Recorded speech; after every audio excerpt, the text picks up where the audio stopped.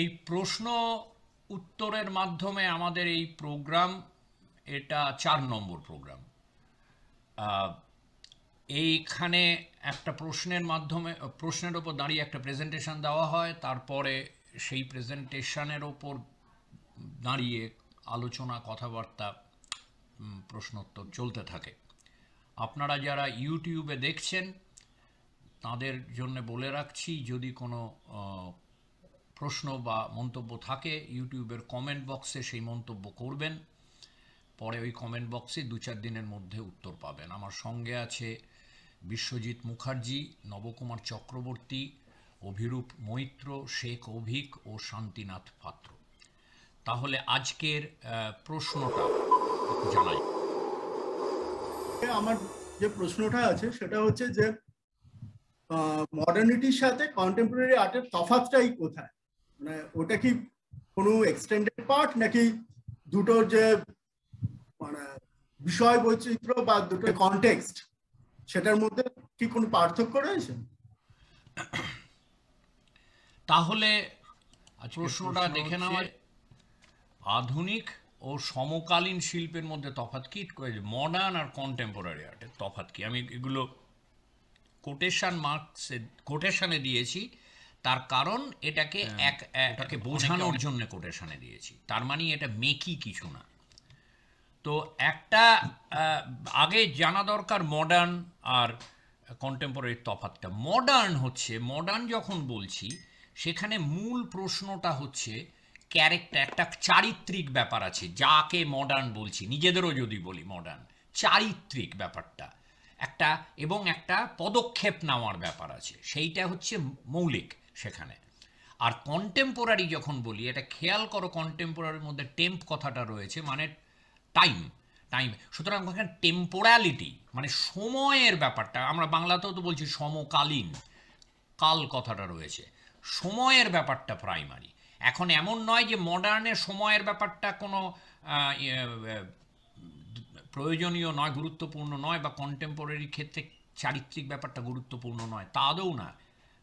Contemporary ক্ষেত্রে চারিত্রিক ব্যাপার আসবে।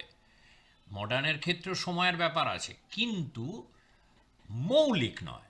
মডার্নের মৌলিক চরিত্র হচ্ছে ক্যারেক্টার অ্যাকশান একটা চারিত্রিক তার একটা বৈশিষ্ট্য।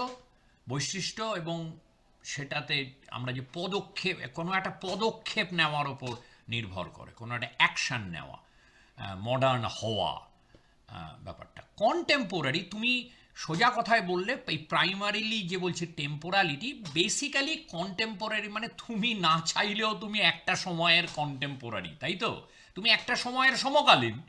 তুমি সেটা সম্বন্ধে তোমার কোনো অ্যাওয়ারনেস না থাকলেও তুমি সমকালীন এক অর্থে সেই জায়গা থেকে বলছি। কিন্তু শুধু সেই জায়গায় আটকে থাকলে চলবে না।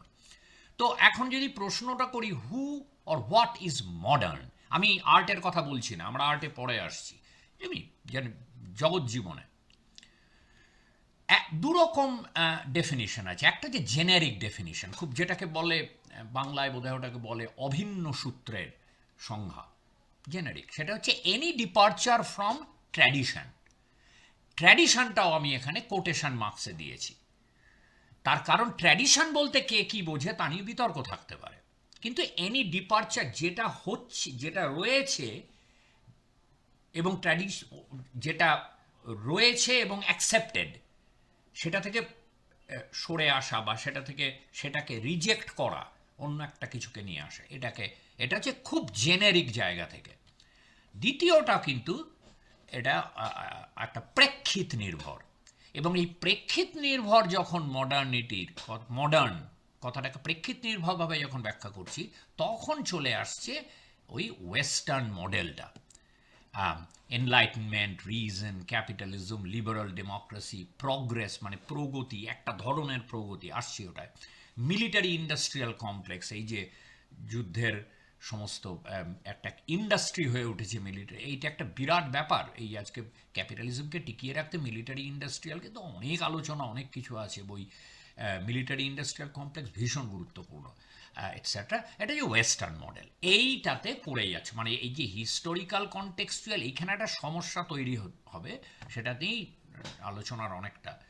হিস্টোরিক্যাল কনটেক্সচুয়াল ডেফিনিশন যদি মানে প্রেক্ষিত নির্ভর সংজ্ঞা যদি তুমি মডার্নের আধুনিক বা আধুনিকতার যদি খোঁজো, তোমার উপায় নেই তুমি এতে স্লিপ করে ঢুকে যাবে। স্লিপ করে ঢুকে যাওয়ার একটা অনেকগুলো সমস্যা আছে, আমরা সেটাতে আসব।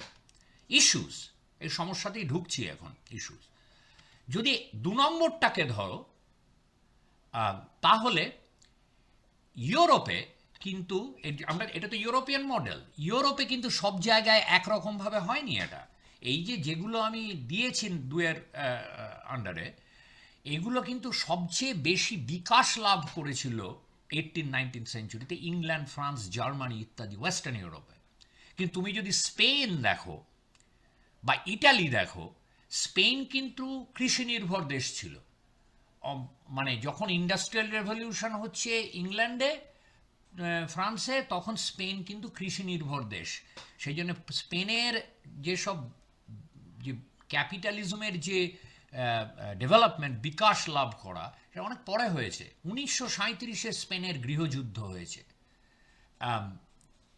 স্পেন কিন্তু ইন্ডাস্ট্রিয়ালাইজড সোসাইটির মধ্যে অনেক পরে এসছে। ইটালি। ইটালিতে যে তোমার একশো বছর আগেও যদি ধরো, এই যে গত বিংশ শতাব্দীর প্রথম দিকে, ইটালি কিন্তু ইউরোপের ওয়েস্টার্ন, ইউরোপের যে ইন্ডাস্ট্রিয়াল জায়গায় বা কলোনাইজেশনের জায়গায় ইটালি কিন্তু পিছিয়ে ছিল। ইংল্যান্ড, ফ্রান্স, জার্মানি, এদের অস্ট্রিয়া এদের সঙ্গে পাল্লা দিতে পারতো না। ইটালি অনেকটাই ইটালির অনেক, সে অনেক জটিল কারণ আছে, ইটালির নিজস্ব ট্র্যাডিশন ভীষণ টেনে রাখে ইটালিকে। এই যে ফিউচারিস্ট, মনে হয় যে ফিউচারিস্ট মুভমেন্ট হয়েছিল? এদের তো ওই জায়গাটাতেই তো বিরাট একটা দাবি ছিল যে ফেলে দাও ট্র্যাডিশন প্রগ্রেস, হ্যান ত্যান, এইগুলো, যাই হোক, সেটারও অনেক সমস্যা ছিল। যেটাই বলতে চাইছি যে আমরা ইউরোপিয়ান মডেল বলি ইউরোপে কিন্তু সব জায়গায় সমান। আমি যদি ইস্টার্ন ইউরোপে যাই, ওইদিকে এখনকার যে তোমার পোল্যান্ড টোল্যান্ড, তাহলে তো আরও দেখা যাচ্ছে নয়, গ্রিস নয়।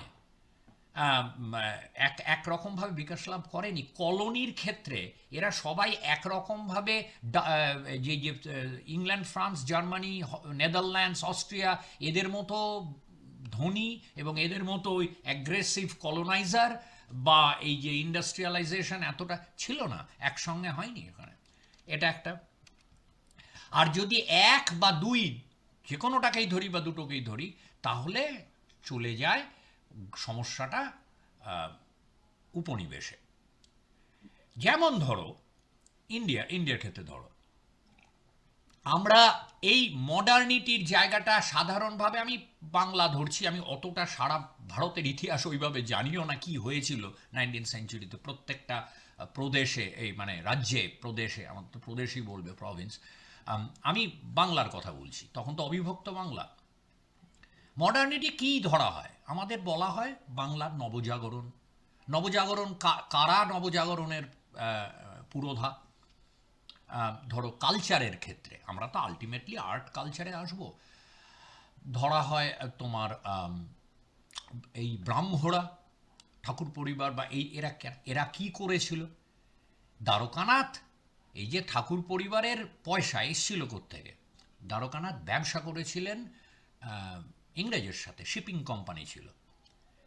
এরা ওই একটা- এর পেছনে একটা সোশিও ইকোনমিক আর্থসামাজিক জায়গা আছে, কিন্তু আমরা কালচার বাংলার নবজাগরণে যে লেখা টেখার মধ্যে দিয়ে, ধর্মের দিক থেকে ব্রাহ্ম তখন হচ্ছে লিবারাল এই যে যে বলে, এই যে এখানে দেখো প্রোগ্রেস লিবারাল ডেমোক্রেসি লিবারালিজমের একটা প্রতীক ছিল ব্রাহ্ম ধর্ম আমরা এটাকে জেনে এসছি, বাংলার নবজাগরণ বলে। তারপরে অন্যান্য লোকজনের বঙ্কিমচন্দ্রের লেখা টেখা, এইসব সাহিত্যে আমাদের বেশি করে বলা হয়। উল্টো দিকে কারা ছিল? উল্টো দিকে কার- ছিল হিন্দু রক্ষণশীল, এই যে শোভাবাজার রাজা রাধাকান্ত দেব। এরা ছিল, এদের সঙ্গে টাসলটা ছিল এদের। তো এখানে তুমি যে দুই দুই নম্বরটা ধরলে বেসিক্যালি বাংলার নবজাগরণে যাদের আমরা লিবারাল মনে করি, তারা will be should be aligned with and they we should be না দে বিকাম অ্যালাইন্ড উইথ এই যে ওয়েস্টার্ন মডেল অফ মডার্নিটি এটা অটোমেটিক্যালি হয়ে যাবেই। আমরা আমরা এই জেনে বড় হয়েছি। রামমোহন থেকে শুরু করে রামমোহনের ওই যে সতীদাহ বন্ধ করা, এগুলো কি? এটা ব্রিটিশকে ওইখানে আমাদের এটা ব্রিটিশ তো সতীদাহ বন্ধ করেছে, একটু ভালো কাজ করেছে। এইভাবে পড়ানো হয় হিস্ট্রি রামমোহন তো ওইটার পক্ষে ছিলেন। রিফর্মার বলা হতো এদের। উল্টো দিকে ছিল হিন্দু সনাতন হিন্দু রক্ষণশীল।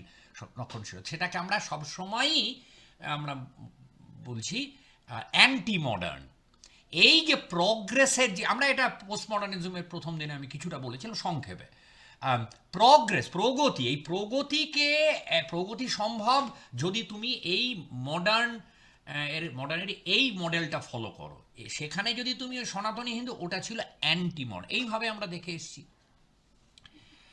সমস্যাটা হয়ে যায় এটা কিন্তু আজকে ইতিহা ঐতিহাসিকরা যেমন দীপেশ চক্রবর্তীর মতো ঐতিহাসিক, এগুলো অনেক অন্যভাবে দেখছে।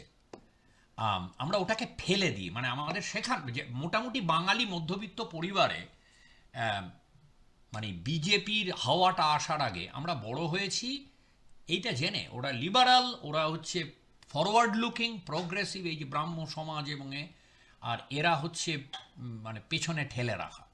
তুমি যদি সিপাহী বিদ্রোহের কথা দেখো, একটু ইন্ডিয়ার পার্সপেক্টিভে সিপাহী বিদ্রোহে এই যে মঙ্গল পাণ্ডে, আমাদের হিরো ফাইন ঝাঁসির রানী, তার আগে, ঝাঁসির রানী। একটা বিরাট প্রবাদ প্রতিম মহিলা। কারা এরা? এরা কি চাইছিল? আমরা বলি আঠেরোশো সাতান্ন হচ্ছে ইন্ডিয়ার প্রথম ফ্রিডম স্ট্রাগল আমাদের ছোটবেলায় স্কুলে কি পড়ানো হয়? ডিসক্রিমিনেশন ছিল আর্মির মধ্যে ইন্ডিয়ান সোলজারদের ওই কার্তুজের খোল হয়েছিল গরু আর শুয়োরের চর্বি দিয়ে হতো, মুসলিমরাও রেগে যেত, হিন্দুরাও রেগে যেত, দাঁত দিয়ে এবং সেই বন্দুকে ভরার আগে দাঁত দিয়ে ছিঁড়তে হতো। সেইটা এবং অন্যান্য এইসব আমরা ওই জায়গায় রাখি। কিন্তু এটার অনেক বড় একটা প্রেক্ষিত আছে। এই যে ব্রিটিশের বিরুদ্ধে এরা, তুমি যদি এদের ব্যাকগ্রাউন্ডগুলো দেখো মঙ্গল পাণ্ডে, ঝাঁসির রানী, এরা ব্রিটিশের বিরুদ্ধে বিদ্রোহ করেছিল কিন্তু এরা কিন্তু ছিল ফিউডালিজমের প্রতিনিধি। এরা জমি ল্যান্ড এই যে ব্রিটিশ নিয়ে নিচ্ছে, এটাকে, এরা, ইন্ডিয়ার শাসনটা তো ব্রিটিশ শাসন মানেটা কি? এটা বহু লোককে অনেকেই জানে না। ব্রিটিশ গভর্নমেন্ট শাসন করতো না। অ্যাকচুয়ালি ইস্ট ইন্ডিয়া কোম্পানি একটা মার্চেন্ট কোম্পানি ব্যবসায়ী কোম্পানি শাসন করতো। বা অ্যাকচুয়ালি তারা ব্যবসা করতে ঢুকেছিল। তারপরে তারা আস্তে আস্তে এইটিন সেঞ্চুরির মাঝামাঝি গিয়ে ওই লোকাল পলিটিক্সে ওদের ওটা কলোনিয়াল পলিসি পলিসি ছিল। লোকাল পলিটিক্সে নাক গলাতে শুরু করে। তারপরে ক্লাইভ পলাশির যুদ্ধ এইসব আমরা জানি। সেভেন্টিন সেভেন্টিজে গিয়ে তারা পাওয়ার ক্যাপচার করে। এবং এরাই কিন্তু এদের সঙ্গে ব্রিটিশ সরকারের কি একটা বন্দোবস্ত ছিল। এরা কিন্তু সরকার নয়। এরা ইন্ডিয়াকে রুল মানে ইন্ডিয়ার পলিটিক্সের মধ্যে ঢুকে নানানভাবে কলকাঠি নাড়া, নীল বিদ্রোহ আমরা জানি না, এরা ইকোনমির মধ্যে দিয়ে ঢুকে পলিটিক্সে ঢুকছে। অনেক সময় যখন বিদ্রোহ দমন করায়, এরা আর্মি ধার চাইতো ব্রিটিশ গভর্নমেন্টের কাছ থেকে। তার সঙ্গে বন্দোবস্ত, এরা যে ব্যবসাটা করতো, এদের ব্রিটিশ গভর্নমেন্টকে একটা রেভিনিউ দিতে হতো। প্রত্যেক বছর। এটা একটা বন্দোবস্ত ছিল। ব্রিটিশ গভর্নমেন্ট একটা রেভিনিউ পেত ইস্ট ইন্ডিয়া কোম্পানির কাছ থেকে। কিন্তু ব্রিটিশ গভর্নমেন্টের কুইনের বা ব্রিটিশ রাজাবারানির ডিরেক্ট কোনো রুল ছিল না ইন্ডিয়ায় কোনো সময় আর্মি দরকার হলে ওরা আর্মি পাঠাতো, অন্যান্য রিসোর্স পাঠাতো এবং সেটার জন্যে পয়সা দিতে হতো। একদম পরিষ্কার। সিপাহী বিদ্রোহের এমন ম্যাসিভ আকার নিল সিপাহী বিদ্রোহ যে তখন সিপাহী বিদ্রোহের পর বোঝা গেল যে ইস্ট ইন্ডিয়া কোম্পানির পক্ষে ইন্ডিয়াকে হ্যান্ডেল করা আর সম্ভব না। তখন ডিরেক্টলি কুইন ভিক্টোরিয়ার শাসনে গেল ইন্ডিয়া কুইন ভিক্টোরিয়াকে এমপ্রেস অফ ইন্ডিয়া সম্রাজ্ঞী ঘোষণা করা হলো তারপর। ইন্ডিয়া কিন্তু ব্রিটিশ শাসন মানে ব্রিটিশ গভর্নমেন্টের ডিরেক্ট কন্ট্রোল এটা কিন্তু হয়েছে নাইনটিন সেঞ্চুরির সেকেন্ড হাফে দেখো কীরকম কোয়েনসাইড করছে আমাদের বাংলা নব, নবজাগরণের সঙ্গে।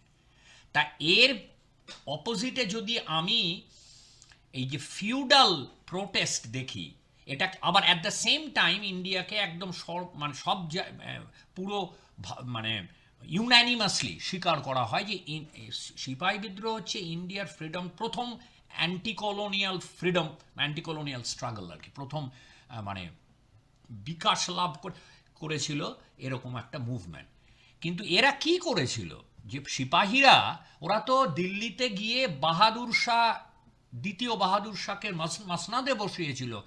কিছুদিন তো, অল্প কিছুদিন তো ছিল মসলে বুয়ো হয়ে গেছে, তার কোনো ইচ্ছাই নেই রুল কর ওইটা প্রতীক মুঘল একে ফিরিয়ে আনা। তার মানে কি? তারা ফিউডাল তারা তো পিছনের দিকে তাকাচ্ছে। তারা তো জমি, সমস্ত জমি মানে ল্যান্ড নিয়ে ল্যান্ড মানে কি? ল্যান্ড হচ্ছে ফিউডালিজম এই যে মার্কসিজমের যে পুরো, বা মার্কসিজম শুধু না মডার্নিটির পুরো ব্যাপারটা কি? যে ল্যান্ড থেকে তুমি সরে আসবে। তোমার ইন্ডাস্ট্রিয়ালাইজেশন এই যে ফ্রান্স ট্রান্সে ইংল্যান্ডে যে কৃষকরা এসে ওয়ার্কিং ক্লাস সৃষ্টি হলো। তার মানে কি? ফিউডালিজম হচ্ছে it has to do with land যার ফলে মার্কসিস্টরা চিরকাল বলেছে শ্রমিক হচ্ছে তার হারাবার কিছু নেই। কিন্তু কৃষকের জমি আছে, তার কৃষকও মধ্যবিত্তের মধ্যেই পড়ে, তার একটা টান আছে কৃষকও বিপ্লবে বিট্রে করতে পারে। কৃষককে সঙ্গে শ্রমিক এ কমপ্লিকেটেড ব্যাপার। তাকে আনতে হবে, কিন্তু কৃষক অনেক সময় বিট্রে করেছে রাশিয়াতে, হ্যান জমি দেবে না, সে জমি জমি আমার মা ইত্যাদি শ্রমিকেরও সব নেই মানে বাই দ্য বুক শ্রমিক হচ্ছে, শৃঙ্খল ছাড়া হারাবার কিছু নেই। তাই এবার যারা জমির ওই ফিউডালিজমের পক্ষে স্ট্রাগল করছে ঝাঁসির রানী বা মঙ্গল পাণ্ডে, তাহলে তা তাদেরকে তুমি বলবে ওরা পিছনে নিয়ে যাচ্ছে? আর এই যে তাহলে তাহলে তারা কিসের বিরুদ্ধে স্ট্রাগল করছে? ব্রিটিশ রুল তুমি বলবে তাহলে ব্রিটিশ রুল ইজ প্রোগ্রেস আর এরা পিছনে নিয়ে যাচ্ছে প্রবলেম হয়ে যাচ্ছে। একই সঙ্গে তুমি তাদের হিরো হিসেবে দেখাচ্ছ ব্রিটিশ শাসনের বিরুদ্ধে। ব্রিটেনে অ্যাকচুয়ালি তো তাই বলা হতো। যে এরা হচ্ছে পেছনে টেনে রাখার। আর ব্রিটিশ হচ্ছে যে সিভিলাইজ করা মডার্নিটি আনা, এটা হচ্ছে অ্যান্টি মডার্ন ফোর্স আমরা কি আজকে মঙ্গল পাণ্ডে আর ঝাঁসি রানীর যে এই যে এটা কি আমরা অ্যান্টি মডার্ন বলব? যদি তারা তো ট্র্যাডিশন এই যে কেন, এক নম্বরটা দেখো জেনেরিক ডেফিনিশন হচ্ছে এনি ডিপার্চার ফ্রম ট্র্যাডিশন ট্র্যাডিশনটা আমি কোর্টে রেখে আমার ট্র্যাডিশনে যা আছে যা আছে ব্রিটিশ ব্রিটিশ রুল আছে, তখন অলরেডি প্রায় একশো বছর হয়ে গেছে ব্রিটিশ রুল তাহলে মানে ইস্ট ইন্ডিয়া কোম্পানি হোক, যে ব্রিটিশ রুল তাহলে সেটাকে আমি হটানোর চেষ্টা করছি। তাহলে আমি কি ওটা তাহলে সেটা কি মডার্ন হবে? কিন্তু এটা তুমি বলতে পারো যে না না না না না। ওটা হলে মডার্ন হবে না। মানে এক্সিস্টিং কিছুকে হটালে সঙ্গে সঙ্গে মডার্ন হয়, তা নয়। মডার্ন মডার্নিটির মধ্যে ওটা একটা ব্যাপার। কিন্তু ওটাকে হটালে তারা তালিবানকেও মডার্ন বলতে হয়, নাৎসিদেরও মডার্ন বলতে হয়। নাৎসিরা তো এক্সিস্টিং সিস্টেম লিবারাল ডেমোক্রেসিকে হটিয়ে রেশিয়াল সুপিরিয়রিটি ইয়ে করেছিল। তুমি বলবে না না না তা থাকলেই যে হবে সে মডার্ন তা না। তার সঙ্গে অন্য জিনিসটা অন্য জিনিসটা কি? দু নম্বরটা। এবার দু নম্বরটা যদি তুমি নাও, তুমি স্লিপ করে যাচ্ছ ওই ওয়েস্টার্ন মডেলের মধ্যে। এইটা নিয়ে এখন মানে গত অনেক বছর এইটা নিয়ে বিরাট ঐতিহাসিকদের বিতর্ক। যে আমাকে কি ওয়েস্টার্ন, তাহলে একটা হচ্ছে যে তুমি এনি ডিপার্চার ফ্রম যা আছে তার তার থেকে ডিপার্চার কিন্তু তার ডিপার্চার হয়ে কি হচ্ছে?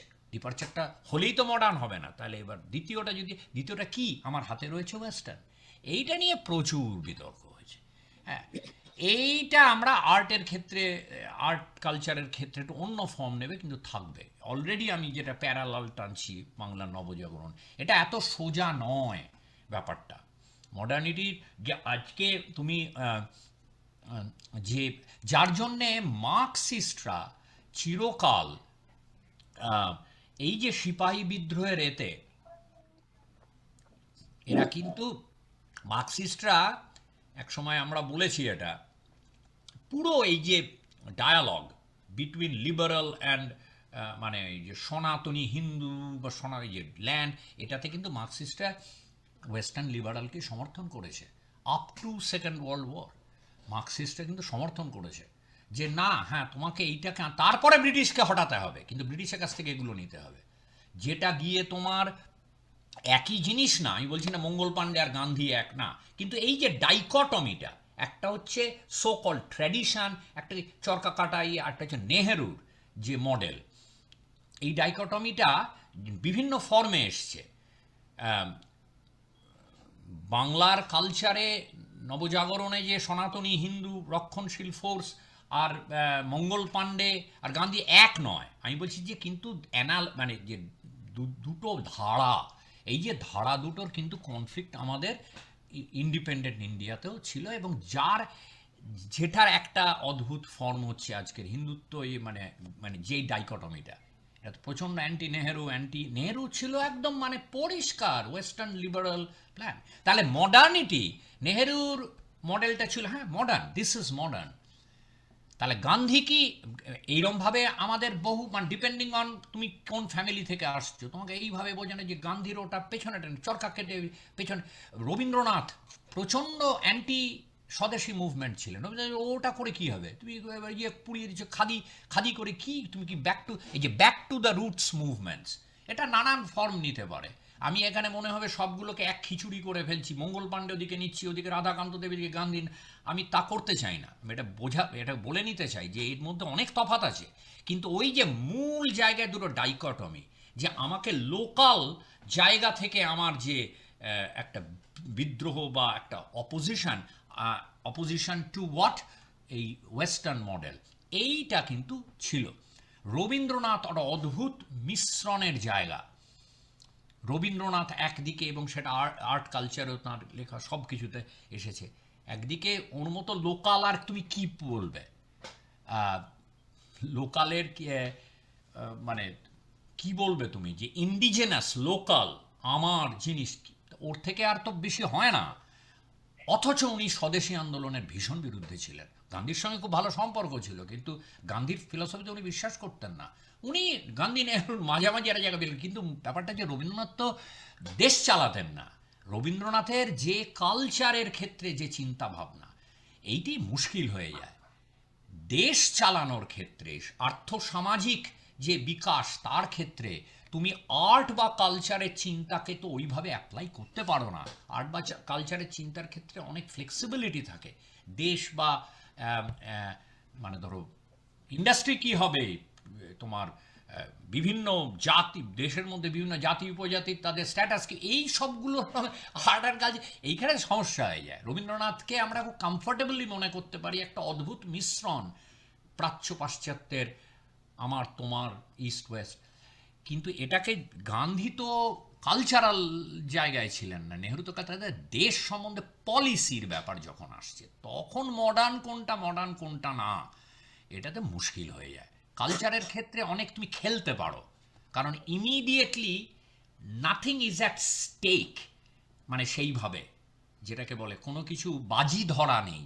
কিন্তু অন্য ক্ষেত্রে তো একটা দেশের ভবিষ্যৎ ভবিষ্যৎ মানে মেটেরিয়াল ভবিষ্যতের ব্যাপার আছে। আচ্ছা তাহলে এখানে একটা সমস্যাটা আমি দিয়ে রাখলাম। যেটা বলতে চাই শান্তির প্রশ্নে, যে এগুলোর না ওইভাবে তুমি যদি মডার্নিটি মডার্ন আর কন্টেম্পোরারি আর্টে তো পরে আসছি, কি আর্টের ক্ষেত্রে। কিন্তু তুমি যদি আর্টের ক্ষেত্রে বলো, আমি কিছু ছক দেব। কিন্তু যখন তুমি সমাজ জীবন নিয়ে বলছো, এটা বলে রাখতে চাই আমি, এর কিন্তু একটা উত্তর নেই, এটা নিয়ে আজও চলছে। আজকে তুমি যদি হিন্দুত্বর সঙ্গে সেকুলারিজমের ডিবেটটা দেখো, সেটাও কিন্তু ওই ডাইকটমিটার একটা রূপ আজকে।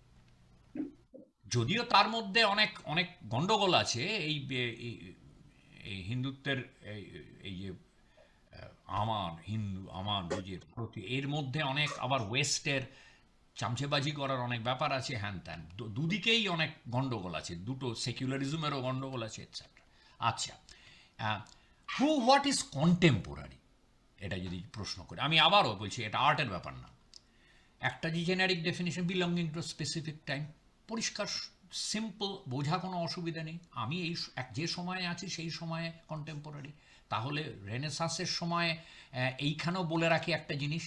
এইখানে তোমার যে জেনারিক ডেফিনিশন অনুযায়ী রেনেসান্সের লোকেরা মনে করতো অ্যান্টিকুইটি হচ্ছে এনশেন্ট আমরা মডার্ন আবার এইটিন সেঞ্চুরি সেভেন্টিন সেঞ্চুরিতে মনে করতো রেনেসান রেনেসান্স হচ্ছে ক্লাসিক ইয়ে পিছনে আমরা মডার্ন আমরা মনে করি সেভেন্টিন সেঞ্চুরির তুলনায় আমরা মডার্ন এটা আপেক্ষিকতা আছে একটা। মডার্ন যেটা সমস্যাটা হচ্ছে একটা আপেক্ষিকতা আছে। কে আধুনিক, কে আধুনিকতার একটা, আধুনিক হওয়ার বা আধুনিক অবস্থানের একটা ফিক্সড মডেল ভাবে নেই। আর্টের ক্ষেত্রে আমরা একটু অন্যভাবে দেখব ব্যাপারটা, কিন্তু জীবন জগতের ক্ষেত্রে নেই। কন্টেম্পোরারি ক্ষেত্রে তোমার তো যে যে সময়কার সেটা তো কন্টেম্পোরারি রেনেসাসের সময় রেনেসাসের লোকেরা কন্টেম্পোরারি কন্টেম্পোরারি হবেই তো। তুমি সেই সময় বিলং করছ।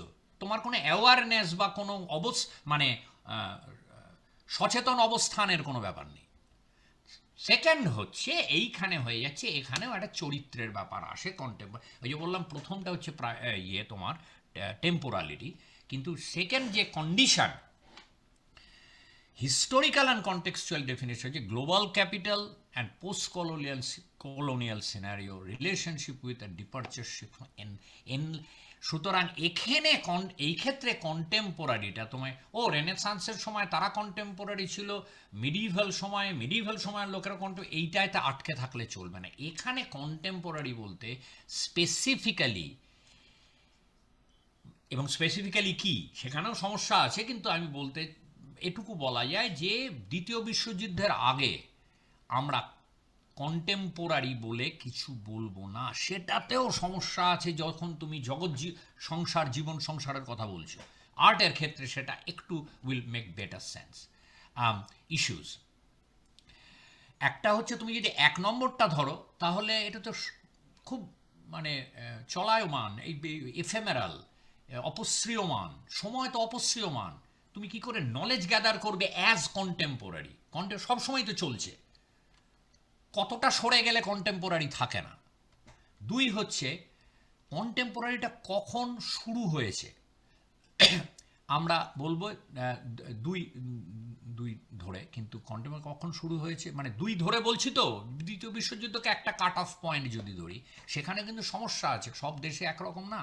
যেমন মানে জার্মানিতে কন্টেম্পোরারি সময় ধরে, যেহেতু ওদের নাৎসিজমের হিস্ট্রিটা ওরা একদম ধুয়ে মুছে শুরু করতে চেয়েছিল। পঁয়তাল্লিশে।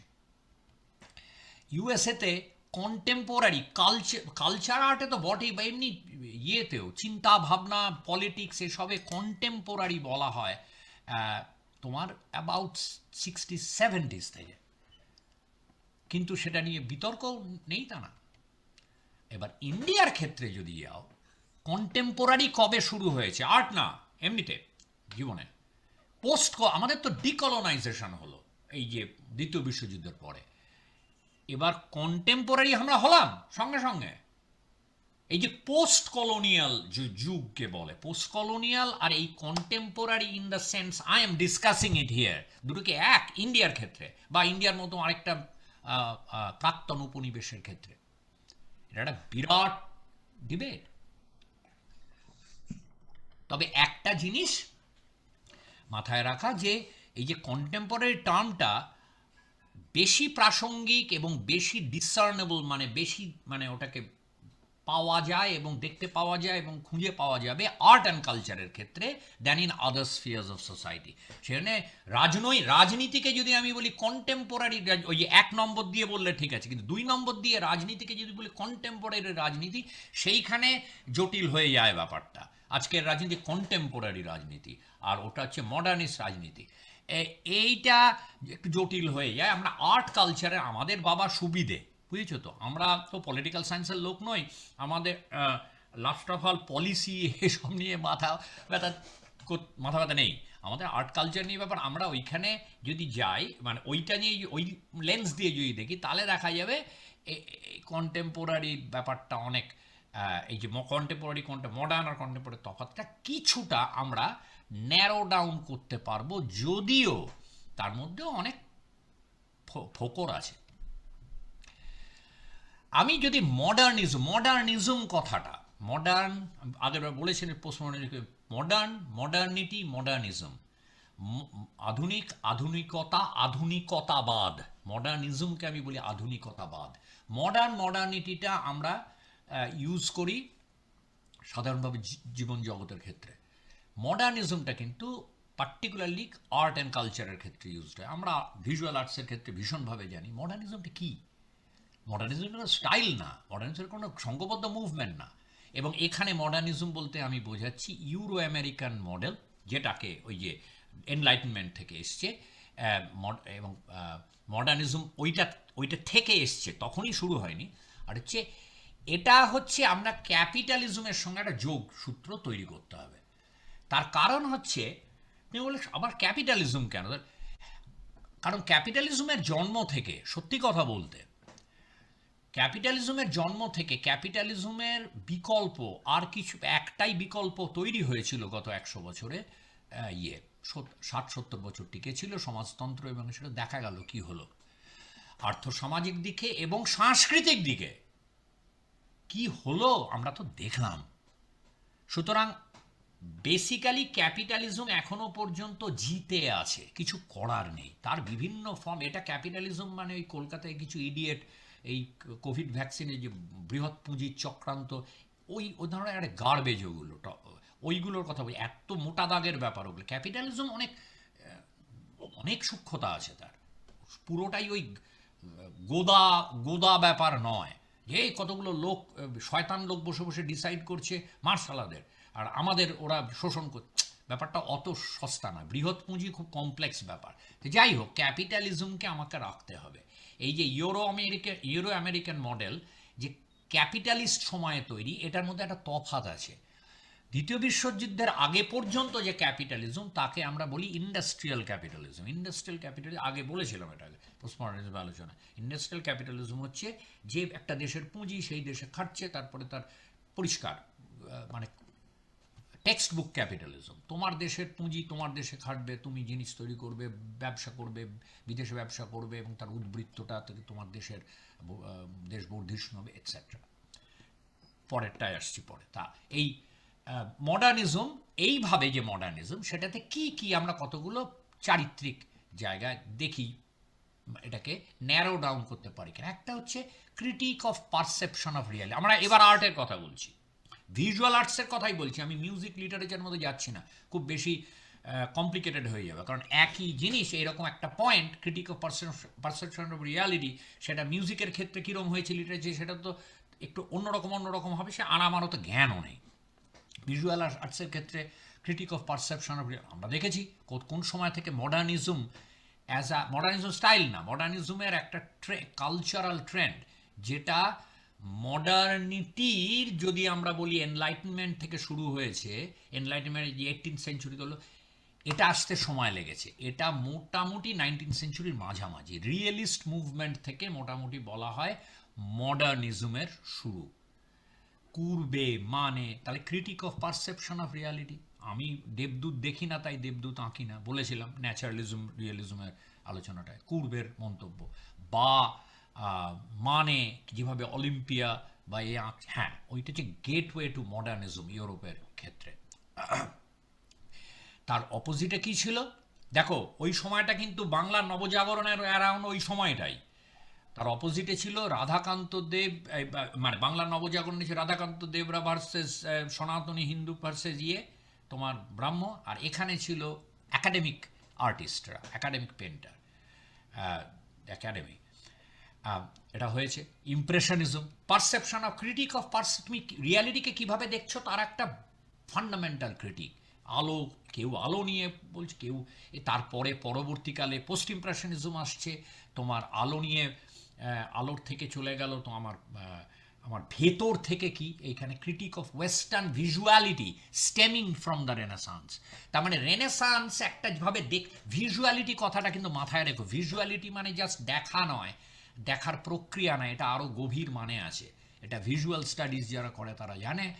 ভিজুয়ালিটি কথাটার একটা মানে প্রাসঙ্গিক অর্থ হচ্ছে ভিজুয়ালিটি বলতে আমরা হ্যাঁ যেভাবে দেখি, কি দেখছি কীভাবে দেখছি গ্যালারিতে গিয়ে ধরো ছবি দেখলে। কিন্তু এর মধ্যে আমাদের যে দেখার একটা ডিসকোর্স কীভাবে কাজ করছে, আমাদের কালচার আমাদের কীভাবে ইনফর্ম করছে, ওই ছবিটাকে বোঝার বা এই সমস্তটা নিয়ে হচ্ছে ভিজুয়ালিটি সুতরাং ভিজুয়ালিটি শুধুমাত্র দেখাটা না। তা এই যে ভিজুয়ালিটি হচ্ছে ডিসকোর্স অফ সিইং এই রেনেসান্স যে ডিসকোর্স অফ সিইং তোমাকে দিয়েছে, চলে আসছিল, সেটাকে ক্রিটিক করা হচ্ছে। Critique of the western of western visuality typical one point perspective থেকে কীভাবে বুঝবে, কীভাবে তুমি টাইমকে বুঝবে একটা টু ডিমেনশনাল ছবিতে এটসেট্রা ওইটার critique critique of perception of reality Van Gogh দে গগা দিয়ে মাতিস থেকে তুমি যে ঢুকছো মুভমেন্টগুলোতে রিয়ালিটিকে কীভাবে দেখ, ভাঙছে প্যাশান আর্টিস্ট প্যাশান জুড়ছে, জুড়ে একটা রূপ হচ্ছে বা একেবারে অ্যাবস্ট্রাকশন হয়েছে, সবগুলো পড়ছে। বিলিফ ইন প্রোগ্রেস এই বিলিফ ইন প্রোগ্রেসটা ওইটা থেকে আসছে। ওই ইন্ডাস্ট্রিয়াল ওই যেটা মডেলটাতে যে প্রোগ্রেস প্রগতি। যে প্রোগ্রেস হচ্ছে ভাঙ, এই যে, এই প্রোগ্রেসের সমস্যাটা কি একটা একটা সরল রৈখিক জায়গা থেকে দেখে এটা। এই যে ওয়েস্টার্ন মডার্নিটির যে প্রোগ্রেসের চিন্তা simple to complex civilise to uncivilise to civilised গ্রাম থেকে শহর, কৃষি থেকে ইন্ডাস্ট্রি খুব সিম্পল জায়গা থেকে এটা দেখে। মানে বেসিক হিস্টোরিক্যাল জায়গাটা খুব সিম্পল সিম্পল মানে সিম্পল মানে ওই অর্থে সিম্পল না, সরল রৈখিক মানে খুব ইউনি ডিরেকশনাল সিম্পল ওইভাবে কথাটার হয়তো অন্য কনোটেশন আছে। সরল রৈখিক জায়গা থেকে প্রগ্রেসকে দেখে। এই প্রগ্রেসটা মডার্নিটিকে যে হ্যাঁ তোমাকে ইন্ডাস্ট্রিয়াল হতে হবে ইন্ডাস্ট্রিয়াল এই করে তারপরে পয়সা, তারপরে এই মানে লিবারাল আরও লিবারাল হওয়া যে প্রগতি, যেগুলোকে আমরা মানে ইন্ডিয়াতে ষাট সত্তর দশকে যারা বড় হয়েছে, একটু একটু উদার মনস্ক পরিবারে, তারা এগুলোকে দারুণভাবে মনে করে হ্যাঁ লিবারাল এটাই লিবারালিজমের তা এই বেসিক্যালি এই যে আভাঙ্গার্ড আর্টে ফ্রান্সে খুব বেশি শার্প ছিল ইংল্যান্ডে অত শার্প ছিল না কিন্তু ফ্রান্স নিশ্চয়ই দেখবে nineteen সেঞ্চুরির second half of the nineteen century art European art নিয়ে আলোচনা, প্রথমেই ফ্রান্স আসে এবং অনেকটা সময় ফ্রান্সই থাকে। ইংল্যান্ড নিয়ে খুব একটা কথা বলে না লোকে, যে দ্রুত কোনো লেকচার মানে প্রেজেন্টেশন দিলে। তার কারণ হচ্ছে ফ্রান্সে এই যে মডার্নিটি যে মডার্নিটিটা যে আর্টে প্রয়োগ করে মডার্নিজমের যে বিকাশ, এটা খুব মানে টেক্সট বুক অনুযায়ী হয়েছে। আভাঙ্গার ইমপ্রেশনিজম থেকে এলো। এখানে একটা এই যে বিলিফ ইন প্রগ্রেস মানে আর্টের একটা প্রগ্রেস হচ্ছে এটা। আভাঙ্গারদের ধারণা মানে চিন্তাধারা অনুযায়ী আর্টের যে প্রগ্রেস এটার মধ্যে একটা আরবান এসেনশিয়াল একটা আরবান আউটলুক আছে। মানে এটা কি? তুই বলবে যে আমরা কি ল্যান্ডস্কেপ করা বন্ধ করে দিয়েছি? গ্রামে গিয়ে কাজ করে? না হ্যাঁ করে। কিন্তু নাইনটিন সেঞ্চুরির মাঝামাঝি থেকে ইউরোপে গ্রামে গিয়ে কাজ করতে পারো তুমি। কিন্তু যে এই যে আর্টিস্টের মাইন্ড ফ্রেম এটা এসেনশিয়ালি শহরের। এটা হচ্ছে মডার্নিজমের ভিত্তি। সুতরাং যদি তুমি ফোক আর্টের দিকে তাকাও, তাহলে সেটা ওই শহরের আর্টিস্টের অ্যাঙ্গেল যেটা অনেকে ভুলে যায় আজকে, ও আমার সেই পট ফট চোখ দিয়ে জল পড়ছে।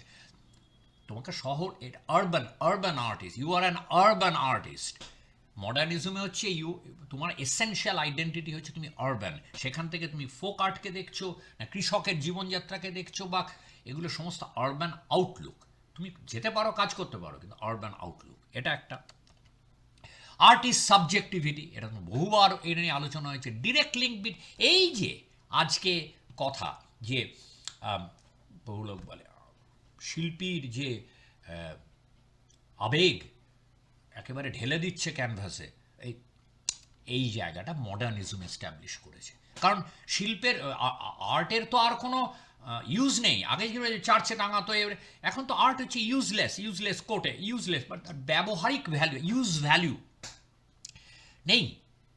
তার, তুমি বিক্রি করলে করলে কিন্তু আর্টিস্ট করছে কেন? কমিশন টমিশন আছে, ঠিক আছে, কিন্তু মূল জায়গাটা আর্টের হচ্ছে আর্টিস্ট করছে তার তার এই যে সাবজেক্টিভিটি একটা এই সাবজেক্টিভিটিটা হচ্ছে, এই আর্টিস্টের সাবজেক্টিভিটি আসছে ওই এনলাইটমেন্ট থেকে যে ইন্ডিভিজুয়াল আমি করব। তো আমার কোনো ওইভাবে কার্যকারণ যুক্ত চার্চের সঙ্গে বা স্টেটের সঙ্গে ওর দরকার নেই। হ্যাঁ। এই সাবজেক্টিভিটিটা এইটা জন্ম দিয়েছে যে আর্ট হচ্ছে আমি যা দেখছি বা বুঝছি, দেখাও সব না, দেখছি এবং বুঝছি, ভেতরে আমার প্রসেস সেইটার ডিরেক্ট এক্সপ্রেশন র এক্সপ্রেশন ঢেলে দিলাম আর্টে আমার আবেগের মিরর ইমেজ আমার আর্ট এইটা মডার্নিজম তৈরি করেছে। অথরশিপ অথরশিপ হচ্ছে মানে আমি অথরে এবার অন্য লোকে বলবে অথর অথর বলতে কিন্তু এখানে ছোট হাতের অথরশিপটাকে আমি ছোট হাতের দিয়েছি। অ্যাকচুয়ালি আমার বড় হাতেরই দেওয়া উচিত। এখানে অথর কথাটা বললে বড় হাতের হবে। অথর হচ্ছে লার্জার দ্যান লাইফ এই যে আমাদের যে গ্রেট আর্টিস্টের যে ফিক্সেশন হ্যাঁ যে ওর কাজে ওর যা পিকাসোর বা এ মাতিসের কি ভেবেছিল ইন্টেনশন সে ওই ঢেলেছে ক্যানভাসে এবং সেই outpouring of his emotions or thinking thoughts এইটাই হচ্ছে তার আর্ট এবং মাতিস যা বলেছে সেটাই শেষ কথা। এই জায়গাটা মডার্নিজম জন্ম দিয়েছে। Experiment with form material process চূড়ান্তভাবে তার আগে কোনো ফর্মাল এক্সপেরিমেন্ট বলে কিছু ছিল না, এই মডার্নিজমের আগে। ফর্ম যেটা লাল এক টেক্সচার এই যে কথাগুলো আমরা বলি টেক্সচার এভাবে কেউ কথা বলতো না নাইনটিন সেঞ্চুরি সেকেন্ড হাফের আগে। মেটিরিয়াল প্রস মেটিরিয়াল প্রসেস নিজেই একটা সাবজেক্ট হয়ে উঠছে। ফর্ম মেটেরিয়াল প্রসেস তাই নিয়ে এক্সপেরিমেন্ট এটা তো আমরা জানি মডার্নিজমে তো বিরাটভাবে হয়েছে। Rejection of explicit narrative story telling ন্যারেটিভের মধ্যে আমি স্টোরি টেলিংটা যুক্ত করেছি ওখানে যে ন্যারেটিভের অনেক রকম মানে হয়। আমি এখানে ন্যারেটিভ বলতে বোঝাচ্ছি মানে ছবি গল্প বলে না। দেখবে আমরা আমি জানি না তোমাদের এখন বলে কি না আমাদের তো এই যে কলকাতায় অন্তত এই কথাগুলো হতো। আহ, কবজির জোর একটা যেটা একদিকে সর্বনাশ করেছে, আরেকটা হচ্ছে ছবি গল্প বলে না। সেটার যে কি, ওটা হিস্টোরিক্যালি কোথা থেকে এসছে এবং এক্স্যাক্টলি কীভাবে ওটা প্রযোজ্য বা প্রযোজ্য ও আমাদের ধারণা ছিল না।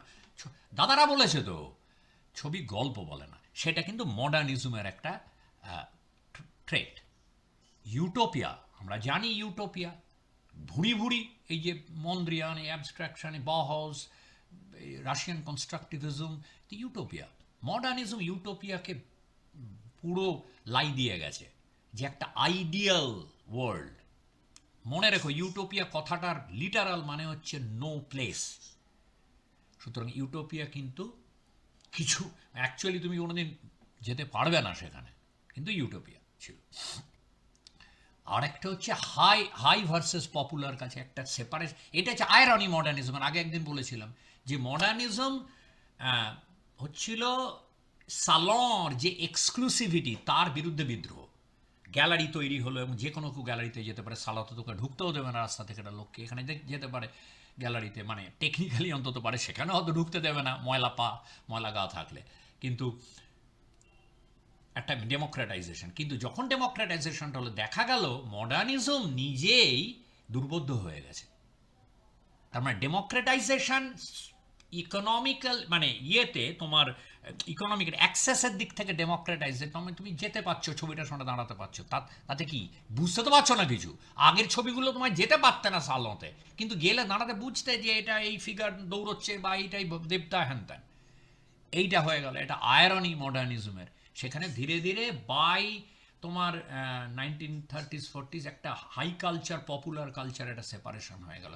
এখানেও ব্যাপার আছে, সব মডার্নিজমের সব মুভমেন্ট কিন্তু দাদা সুরিয়ালিজম তারা কিন্তু ওই সেপারেশনটা করতো না।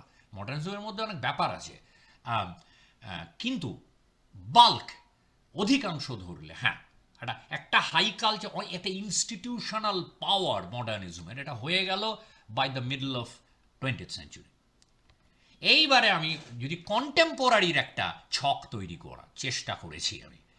আচ্ছা ওটাকে বলছি ইউরো আমেরিকান মডেল এটাকে বলছি আমি গ্লোবাল মডেল কিন্তু একটা জিজ্ঞাসার চিহ্ন দিচ্ছি। অর্থাৎ ওই মডার্নিজমটা যখন তুমি ফলো করছ, তোমাকে মাথায় রাখা উচিত সব সময় ওটা ইউরোপ থেকে এসছে। একদম।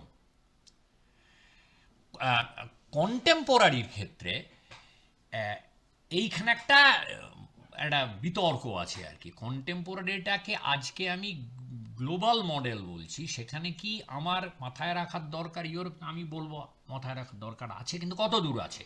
এই মডেল যেটা আমি বলছি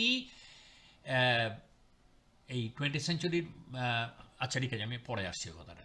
এই মডেলটা এবং ওইখানে আমি বলছি ইন্ডাস্ট্রিয়াল ক্যাপিটালিজম এখানে আমি বলছি এটার রিলেশনশিপ হচ্ছে গ্লোবাল অর লেট ক্যাপিটালিজমের সঙ্গে।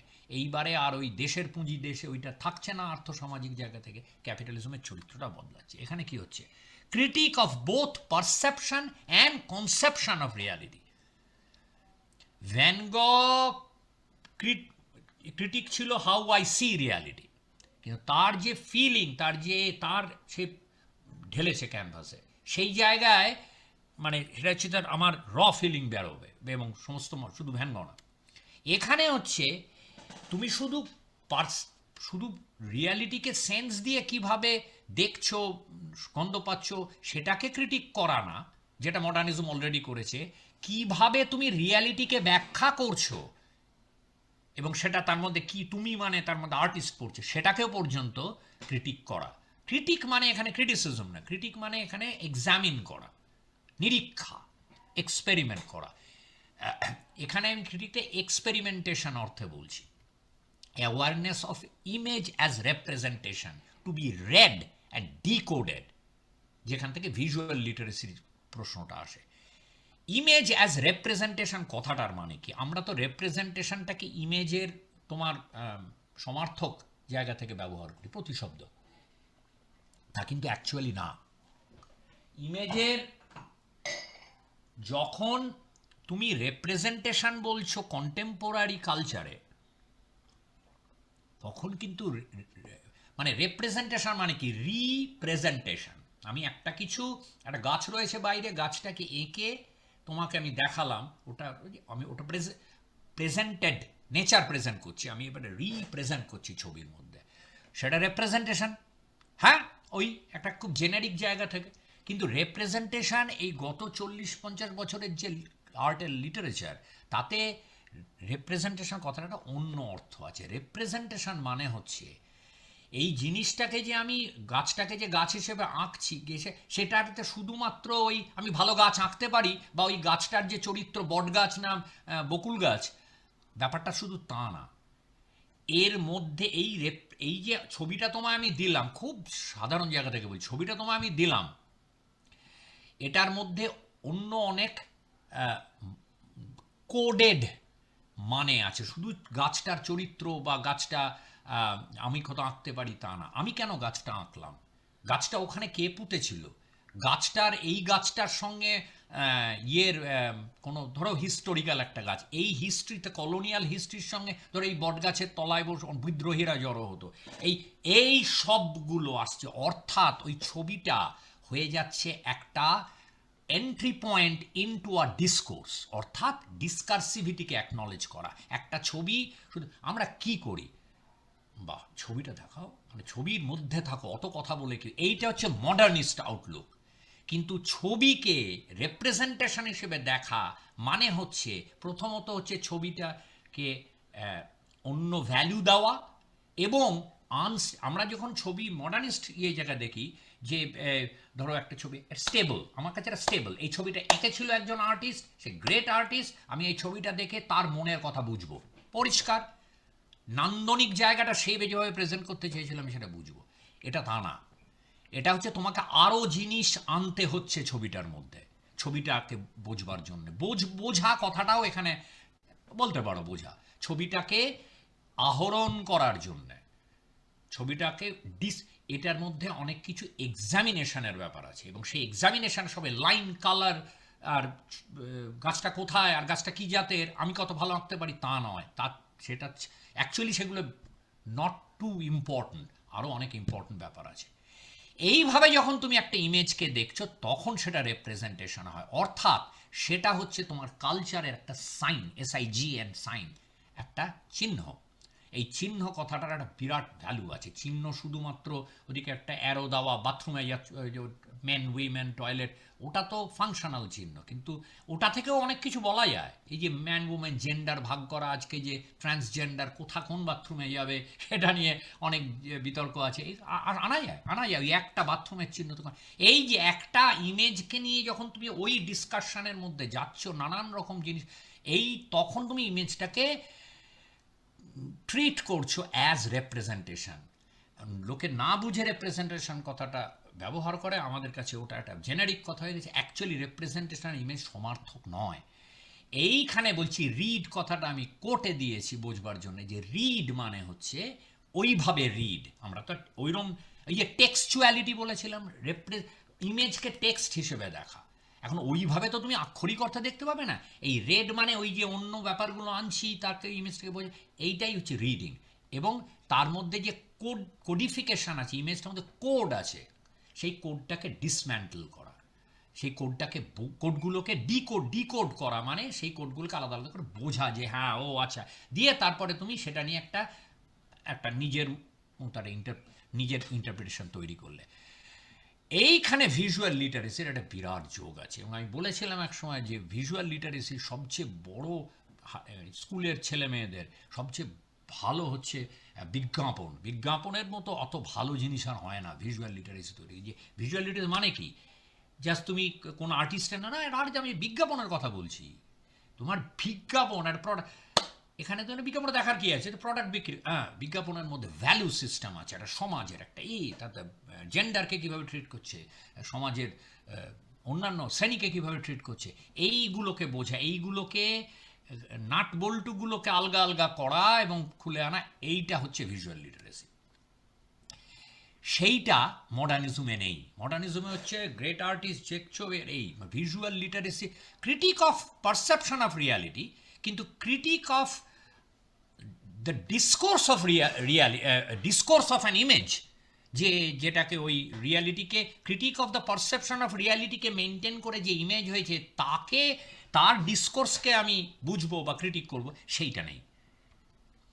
End of belief in artist subjectivity as given যে আর্টিস্টের সাবজেক্ট আর্টিস্ট এই যে, একেবারে আমি ভাবছি, আমি করছি।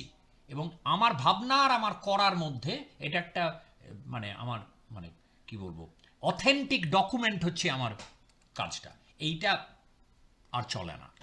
এখন তাহলে এবার বলতে বলতে যাই আমি। এখন যে কে মডার্ন আর্টিস্ট কে কন্টেম্পোরারি আর্টিস্ট ওইভাবে শুধু ছবিটা দেখে বলা মুশকিল।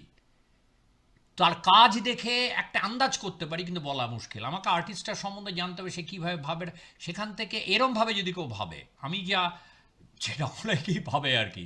আমি যা এ করি, আমি যা ভাবি, আমার ইমোশান সেটাই আমি ঢেলে দিই তাহলে সে কন্টেম্পোরারি না। এই অর্থে কন্টেম্পোরারি না।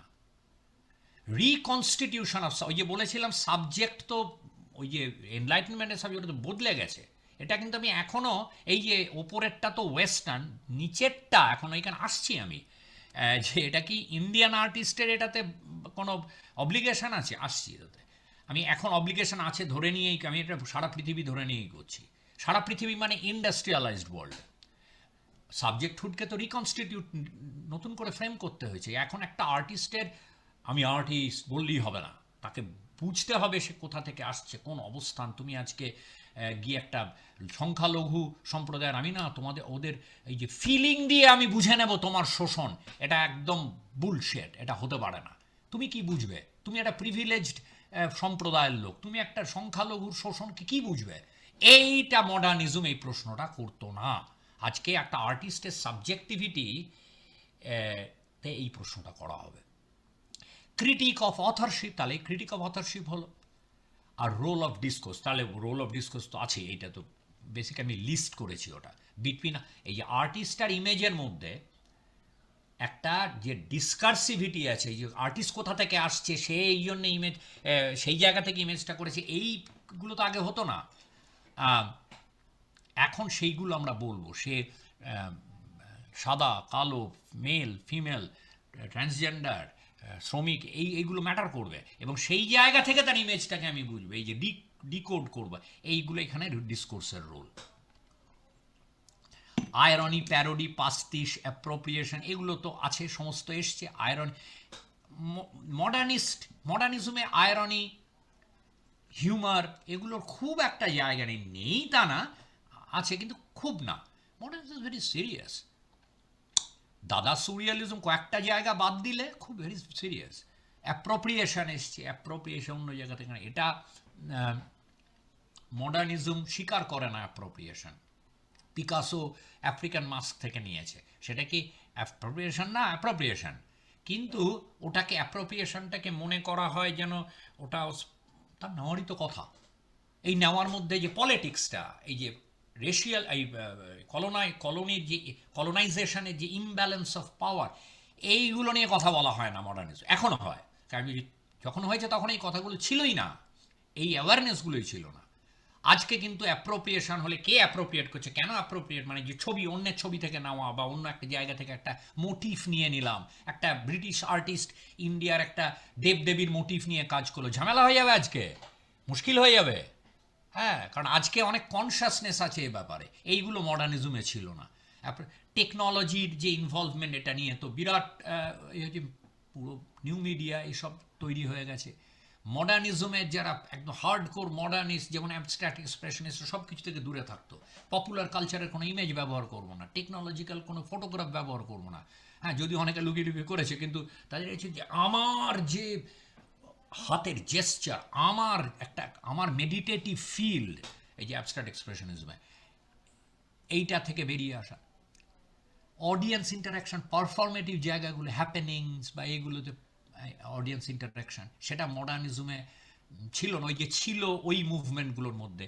বাহজ ইয়ে যে এই যে তোমার হাই ভার্সেস পপুলার কালচার এটা কি মডার্নিজমে এর বিরুদ্ধে কি রাশিয়ান কনস্ট্রাকটিভিজম বাউহাউস একটা ইউটোপিয়া ছিল তাদের। এই যে দেখো তুমি মডার্নিজমে যে ইউটোপিয়া ছিল, কিন্তু হাই ভার্সেস পপুলার কাজে ছিল না তো। ওরা তো সমস্ত কিছু সেই টিকা চায়ের ডিনার সেট ডিজাইন করাচ্ছে, আবার পেন্টিং করাচ্ছে, ছিল না। মডার্নিজমের মধ্যে আছে, দাদা সুরিয়ালিজম কি? দাদা সুরিয়ালিজম দাদা তো সেই মোনালিসা দাড়ি গোপাকা এলাশক অ্যাপ্রোপ্রিয়েশন হ্যাঁ সেই জন্য তো ওই Dada surrealism Bauhaus constructivism to some extent even futurism এগুলো নিয়ে তো আজকের আর্টিস্টরা খুব চর্চা করে। এগুলো চর্চা করে তো। আজকে কলকাতায় বহসকে রবীন্দ্রনাথ এনে মানে শান্তিনিকেতনের উদ্যোগে এনে এক্সিবিশন হয়েছিল কলকাতায়, বিশের দশকে। আজকে সেটাকে আবার সেন্টিনারিতে এক্সিবিশন করল ইন্ডিয়ান মিউজিয়ামে কেন? বাহাউজের অনেক বেশি এই যে কন্টেম্পোরারিতে এই যে মানে কিউবিজম আজকে যদি কেউ বলে কোনো পেইন্টার যে আমি না কিউবিজম নিয়ে এক্সপেরিমেন্ট চালিয়ে যাব এবং জাস্ট কিউবিজম মানে as a linear progression from the earlier cubist generations এটার কোনো মানে হয় না। আজকে যদি তুমি কিউবিজম অপ্রাসঙ্গিক হয়ে যায়নি, কিন্তু কিউবিজম নিয়ে চালাতে গেলে তোমাকে আজকের যে ডিসকাসিভ জায়গাটা বুঝতে হবে।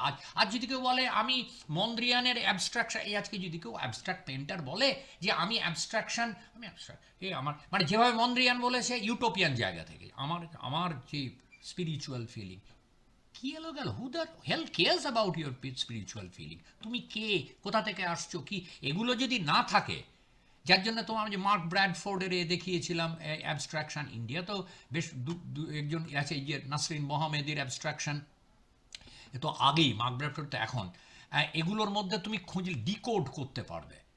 এদের কিন্তু সেলফ একটা ইন আদার ওয়ার্ডস একটা সেলফ কনসিয়াসনেস কন্টেম্পোরারিতে একটা সেলফ কনসিয়াসনেস যেটা মডার্নিজমে একমাত্র কিছু ওই মুভমেন্ট দাদা সোরিয়ালিজম টাইপের মুভমেন্ট ছাড়া ম্যাক্সিমামটা সেলফ কনসিয়াসনেসের ব্যাপার ছিল না। আমার অ্যাকচুয়ালি সেলফ কনসিয়াসনেসটা এখানে অ্যাড করা দরকার। আমি এটা স্বীকার করে নিচ্ছি এই যে দ্বিতীয় লিস্টে একটা আত্মসচেতনতা।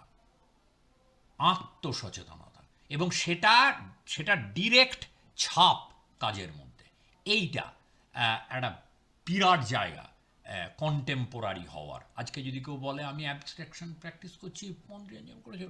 কোনো মানে হয় না। আজকের অ্যাবস্ট্রাকশনে তোমার অন্যভাবে ভাবতে হবে। কিউবিজম যদি তুমি ওরমভাবে টেনে নিয়ে যেতে পারো না, যেমন আজকে যদি কেউ বলে, আমি একেবারে ইমপ্রেশনিস্টদের ফলো করে কাজ করব যেরকম ওরা করেছে। পাগল! তুমি করতে পারো জানার জন্য, সেটা হচ্ছে ওটা বোঝবার জন্য। কিন্তু তুমি ওইটাই তোমার কাজ, এটাই তোমার আইডেন্টিটি অ্যাজ অ্যান আর্টিস্ট পাগল তুমি। তোমার হেল্প দরকার। ইদার তুমি একদম কমপ্লিটলি অশিক্ষিত, অথবা তোমার মাথা গন্ডগোল হয়েছে। আচ্ছা end of allegiance to skill এখানে আমার একটুখানি এটার এই এলো পরে, একটু প- শেষেরটার আগে দেখো, যে ফাঁকটা ভরলো এক্ষুনি। এন্ড অফ অ্যালিজিয়েন্স টু আগেই আয়রনিটা এসে গেছে। End of allegiance to skill style এটা তো আমি সবসময় বলি। এই যে মিডিয়ামের দাসত্ব স্টাইলের দাসত্ব প্রসেস এগুলো সবই আছে কিন্তু। মিডিয়ামও আছে স্টাইলও আছে প্রসেসও এইটি বললেই লোকে খেপে যায় যে মানে এগুলো কি চলে গেছে? না স্কিল স্কিলের স্কিল যাবে কেন? কিন্তু এইগুলোর ওপর ভর করে যে আমি একটা স্টাইলকে এগিয়ে যেটা মডার্নিজমে ছিল, বা মেটেরিয়াল প্রসেস নিয়েই ওইটাই আমার সাবজেক্ট কন্টেন্ট আজকে যদি তুমি সিরিয়াসলি একটা আর্টিস্ট হিসেবে বলো অ্যাবস্ট্রাক্ট এক্সপ্রেশনিস্টদের মতো মেটেরিয়াল প্রসেস তাই আমার সাবজেক্ট কন্টেন্ট আমি ওভার সিম্পলিফাই করছি এখানে অ্যাবস্ট্রাক্ট এক্সপ্রেশনের জন্য আলোচনাটা গভীর হবে। এটা যদি বলো, আজকে তুমি, তার মানে তুমি মুশকিল আছে। আজকে material process medium style skill সবই থাকবে, কিন্তু কোনোটার দাস হয়ে থাকবে না তুমি। যেখানে অলরেডি আর্ট এর object of art work of art already decentred হয়ে গেছে। ডিমে ইনস্টলেশনের এই জিনিসটা এমন এক জিনিস করছে যেটা থাকছে না, এই যে তোমার খ্রিস্ট বিল্ডিং মুড়ে নিয়ে তুলে নেয়। হ্যাঁ? শকুন্তলা কুলকার্নির যে ওই যে বেতের খাঁচা পড়ে বিভিন্ন জায়গায় ছাদের ওপর দাঁড়িয়ে রাস্তা ধারে ছবি তোলা, যে মেয়েদের যে কনস্ট্রিকশন বডির যে এ, আর তো থাকছে না, অনেক ছবিটা থাকছে। এইগুলো decentring of the workout dematerialisation যা যদি হয়, তাহলে মেটেরিয়াল প্রসেস এগুলো নিয়ে তুমি, বাবা, না, আমি না পেন্টিংই করব। এ করলে তাহলে তোমাকে আমি কন্টেম্পোরারি বলতে রাজি নই। এন্ড অফ এখানেও একটা ফাঁক পড়ছে। আমার মনে হয় আমার ওই নাম্বারিংয়ে একটু প্রবলেম ঠিক আছে, কোনো অসুবিধা নেই। এই ফাঁকটা কিন্তু পরে ভরবে। End of utopia and hero worship আজকে কন্টেম্পোরারি আর্টিস্ট কন্টেম্পোরারি সুতরাং কন্টেম্পোরারি ব্যাপারটা একটা অ্যাটিচিউডের ব্যাপার। এটা ছবিটার দিকে তাকিয়ে ওইভাবে সবটা বোঝা যাবে না। এটা একটা টোটাল অ্যাটিচিউডের ব্যাপার আর্টিস্টের এবং আর্টিস্টেরই মেনলি এবং মানে সেই কাজটা নিয়ে কি বলা কওয়া হচ্ছে তার উপর নির্ভর করে। ইউটোপে কেউ যদি বলে, আমি I I I am totally একটা ইউটোপিয়া এই জায়গায় একটা ফ্যান্টাসি ওয়ার্ল্ড। ফ্যান্টাসি ওয়ার্ল্ড মানে আজকে অনেকে দেখবে ফ্যান্টাসি ওয়ার্ল্ড করে, কিন্তু সেটা আমাদের একটা সেলফ কন একটা আয়রনি থাকে, একটা প্যারোডি থাকে, তা না। একটা সিরিয়াসলি বিশ্বাস, যেভাবে মন্দ্রিয়ান বিশ্বাস করেছিল যে একটা হারমোনি হবে। যেখানে একটা সোসাইটি এমন একটা জায়গা আসবে, একটা পেন্টিং একটা বিল্ডিং একটা চায়ের কাপ সবগুলোর মধ্যে একটা হারমোনি থাকবে। সেখানে ওইভাবে আর্ট বলে কিছু থাকবে না, কিন্তু একটা হারমোনিয়াস লাইফ এই যে ইউটোপিয়াটা এইটা যদি, এই ধরনের ইউটোপিয়া যদি কেউ বিশ্বাস করে সিরিয়াসলি সমস্যা আছে তার। তাকে আমি কন্টেম্পোরারি বলতে রাজি নই। হিরো ওয়ার্শিপ আমি ওকে তুলে ধরবো, অমুক, যে যেই হোক পলিটিক্যাল হিরো বলো, যে আমি ওই গ্রেটকে তুলে ধরাটাই পোর্ট্রেট বলো যাব খুশুর মধ্যে দিয়ে। আমি তাকে, এবং সেইটাই একেবারে সেটাই আমার গোল এটা যদি কেউ বলে। আমি কন্টেম্পোরারি বলতে রাজি নেই তাকে। এই মাঝখানে যেটা দেখো ভরে গেল। End of belief in linear trajectory of progress ওই যে সিম্পল থেকে কমপ্লেক্স আনসিভিলাইজ থেকে civilised linear concept of progress যে একটা লিনিয়ার ওটাকে অস্বীকার করা। কন্টেম্পোরারি আর্ট ওটাকে অস্বীকার করে। অনেক সময় আমি ফিরে যেতে পারি। পেছনে যেতে পারি। এই যে ফটোগ্রাফিতে অনেকে অল্টারনেটিভ প্রসেস হিসেবে ফিরে যাচ্ছে, সেই কলোডিয়ান গ্লাস নেগেটিভ দিয়ে কাজ করছে। আমি বলেছিলাম না অ্যাবস্ট্রাকশনের আলোচনায়, ওটার কোনো মানে হয় না এই কথাটার, যে ওটা তো হয়ে গেছে। হয়ে হ্যাঁ কিছু কিছু ক্ষেত্রে মানে হয়। তুমি যদি কপি করো সেটাকে, তাহলে অবশ্যই তুমি সমালোচনার যোগ্য। কিন্তু তুমি যদি দুটো কথা আছে, একটা হচ্ছে অ্যাডপশন একটা অ্যাডাপ্টেশন অ্যাডপ্ট হচ্ছে জিনিসটাকে নেওয়া। একটা বাচ্চাকে অ্যাডপ্ট করা। আর অ্যাডাপ্টেশন হচ্ছে অভিযোজন, যেটাতে তুমি জিনিসটাকে নিচ্ছ, একটা জিনিসকে নিয়ে নিজের মতো করে তৈরি করছ। সেটা করায় আর্টে তো সব সময় আজকে সেরামিক বা এতে বা কাস্টিংয়ে তুমি চলে যাও না। পিছনে হাজারো, হাজার বছরের পুরনো টেকনিক নিয়ে কাজ করো। কিন্তু ওইটাই যদি তোমার পয়েন্ট হয়ে দাঁড়ায়, যে আমি দেখো হাজার বছর আগের টেকনিক এটা কিরম স্কিল ওইটাকে কন্টেম্পোরারি বলব না আমি। ওটাকে কতটা সিরিয়াস আর্ট বলব তাই আমার সন্দেহ আছে। কন্টেম্পোরারি বলব না ওটাকে। এবার ওটা কেন করছ? কেন তুমি আজকে একশো বছর আগের দেড়শো বছর আগের একটা ওই ফটোগ্রাফির টেকনিক বা একটা এনকস্টি একটা পুরোনো পেন্টিং টেকনিক তুমি কেন করছ? সেটা তোমায় জানতে হবে। নিজেকে প্রশ্ন করতে হবে। কিছুদিন তুমি একটু ওই যেটাকে বলে জাস্ট প্লে অ্যারাউন্ড করলে, একটু এক্সপেরিমেন্ট করলে। কিন্তু এইবার তোমার ভেতরে কনসেপ্ট আইডিয়েশন যেটাকে বলে, তোমাকে তৈরি হতে হবে। পয়েন্ট না পয়েন্টলেস হয়ে যাবে। আমরা আর এইটা বহুবার বলেছি বলে লাভ নেই। তোমার চারপাশে দেখছ। যে অর্থহীন ডেমনস্ট্রেশন অফ স্কিল কেন করে তাও আমরা জানি। বিক্রি হয়। কিছু একটা ক্লায়েন্টাল আছে, তারা ওইগুলোই পছন্দ করে। এইখানেই বাজারই হয়ে যাওয়া। আচ্ছা utopia hero worship the end of belief in linear trajectory attention to micro forms of in মানে সাবজেক্ট কন্টেন্টের দিক থেকে micro forms of power and resistance যে সমাজে তুমি কি মানে ওই তোমার আমার ভেতর থেকে আমি ধান ক্ষেতকে এইভাবে দেখি, এটা আর চলে না। তুমি একটা ধান ক্ষেতকে দেখো, তুমি সেখানে অন্যান্য পাওয়ারের ব্যাপার আছে। অন্য, যে আজকে তুমি একটা ধান ক্ষেত শুধু ওই রাজনীতিটাকে বাদ দিয়ে জাস্ট হয় না আর। যদি কেউ এটা বলে, ধান ক্ষেতের বিউটিটা দেখো, এটা বলে না যে ও অনেক তো হলো, এবার শুধু ধান ক্ষেতের পিওর বিউটি তাকে আমি কন্টেম্পোরারি বলব না। মাইক্রোফর্মস কি জেন্ডার এটা, ওটা মানে সমাজের মধ্যে একটা বড় শোষক আর শোষিত না ছোট ছোট ছোট ছোট অনেক মাইক্রোফর্মস আছে পাওয়ারের যেটাকে অপারেশন এবং রেজিস্ট্যান্স সেইগুলোর দিকে তোমাকে নজর দিতে হবে। ডিসেবলড ডিসেবিলিটি নিয়ে একটা আমাদের দেশে যেটা একেবারেই সচেতনতাই নেই। কিছু কিছু খুব অল্প লোকের মধ্যে আছে। ডিসেবিলিটির এই যে, যেমন আমরা বলি রেসিজম রেসের ক্ষেত্রে, শারীরিক প্রতিবন্ধী নিয়ে যখন ডিল করি, তখন একটা কথা আছে এবলিজম এবলিজমটা একটা শোষণের ফর্ম তুমি কীভাবে সমস্ত কিছুকে তাদের বাদ দিয়ে করছ মানে ভাবছ, তাদের যদি এখন তাকাচ্ছ, আহারে আহারে করুণার দিক থেকে তাকা এইগুলো নিয়ে বিশাল কাজকর্ম আছে। হ্যাঁ সার্ভেলেন্স আগের দিন যে কথাটা হচ্ছিল, সেটা একটা micro form of power projection of power এবং তার রেজিস্ট্যান্স এইগুলোর দিকে নজর দেওয়াটা কন্টেম্পোরারি ওই যে চিরাচরিত চিরন্তন, এগুলো তো সব ছোট, চিরন্তন ব্যাপার নিয়ে আমি মাথা ঘামাই। জীবনের মানে কি? জীবনের মানে কি কিনে করা যায়? ইন কন্টেম্পোরারি কাজ করা যায়। কিন্তু কীভাবে তুমি অ্যাপ্রোচ করছ কোয়েশ্চেনটা সেটার উপর ডিপেন্ড করে। রিটার্ন টু এক্সপ্লিসিট ন্যারেটিভ ওটা স্টোরি টেলিং ওটা স্টোরি টেলিংকে বর্জন করেছিল, ফিরিয়ে আনব। আর স্ট্রাকচারাল ইনস্টিটিউশনাল ক্রিটিক নিয়ে বলার নেই। এই স্ট্রাকচার নিয়ে নিরীক্ষা তো আগের দিনে আমাদের পুরো প্রোগ্রাম আছে, দেখার হলে কেউ দেখে নিতে পারে।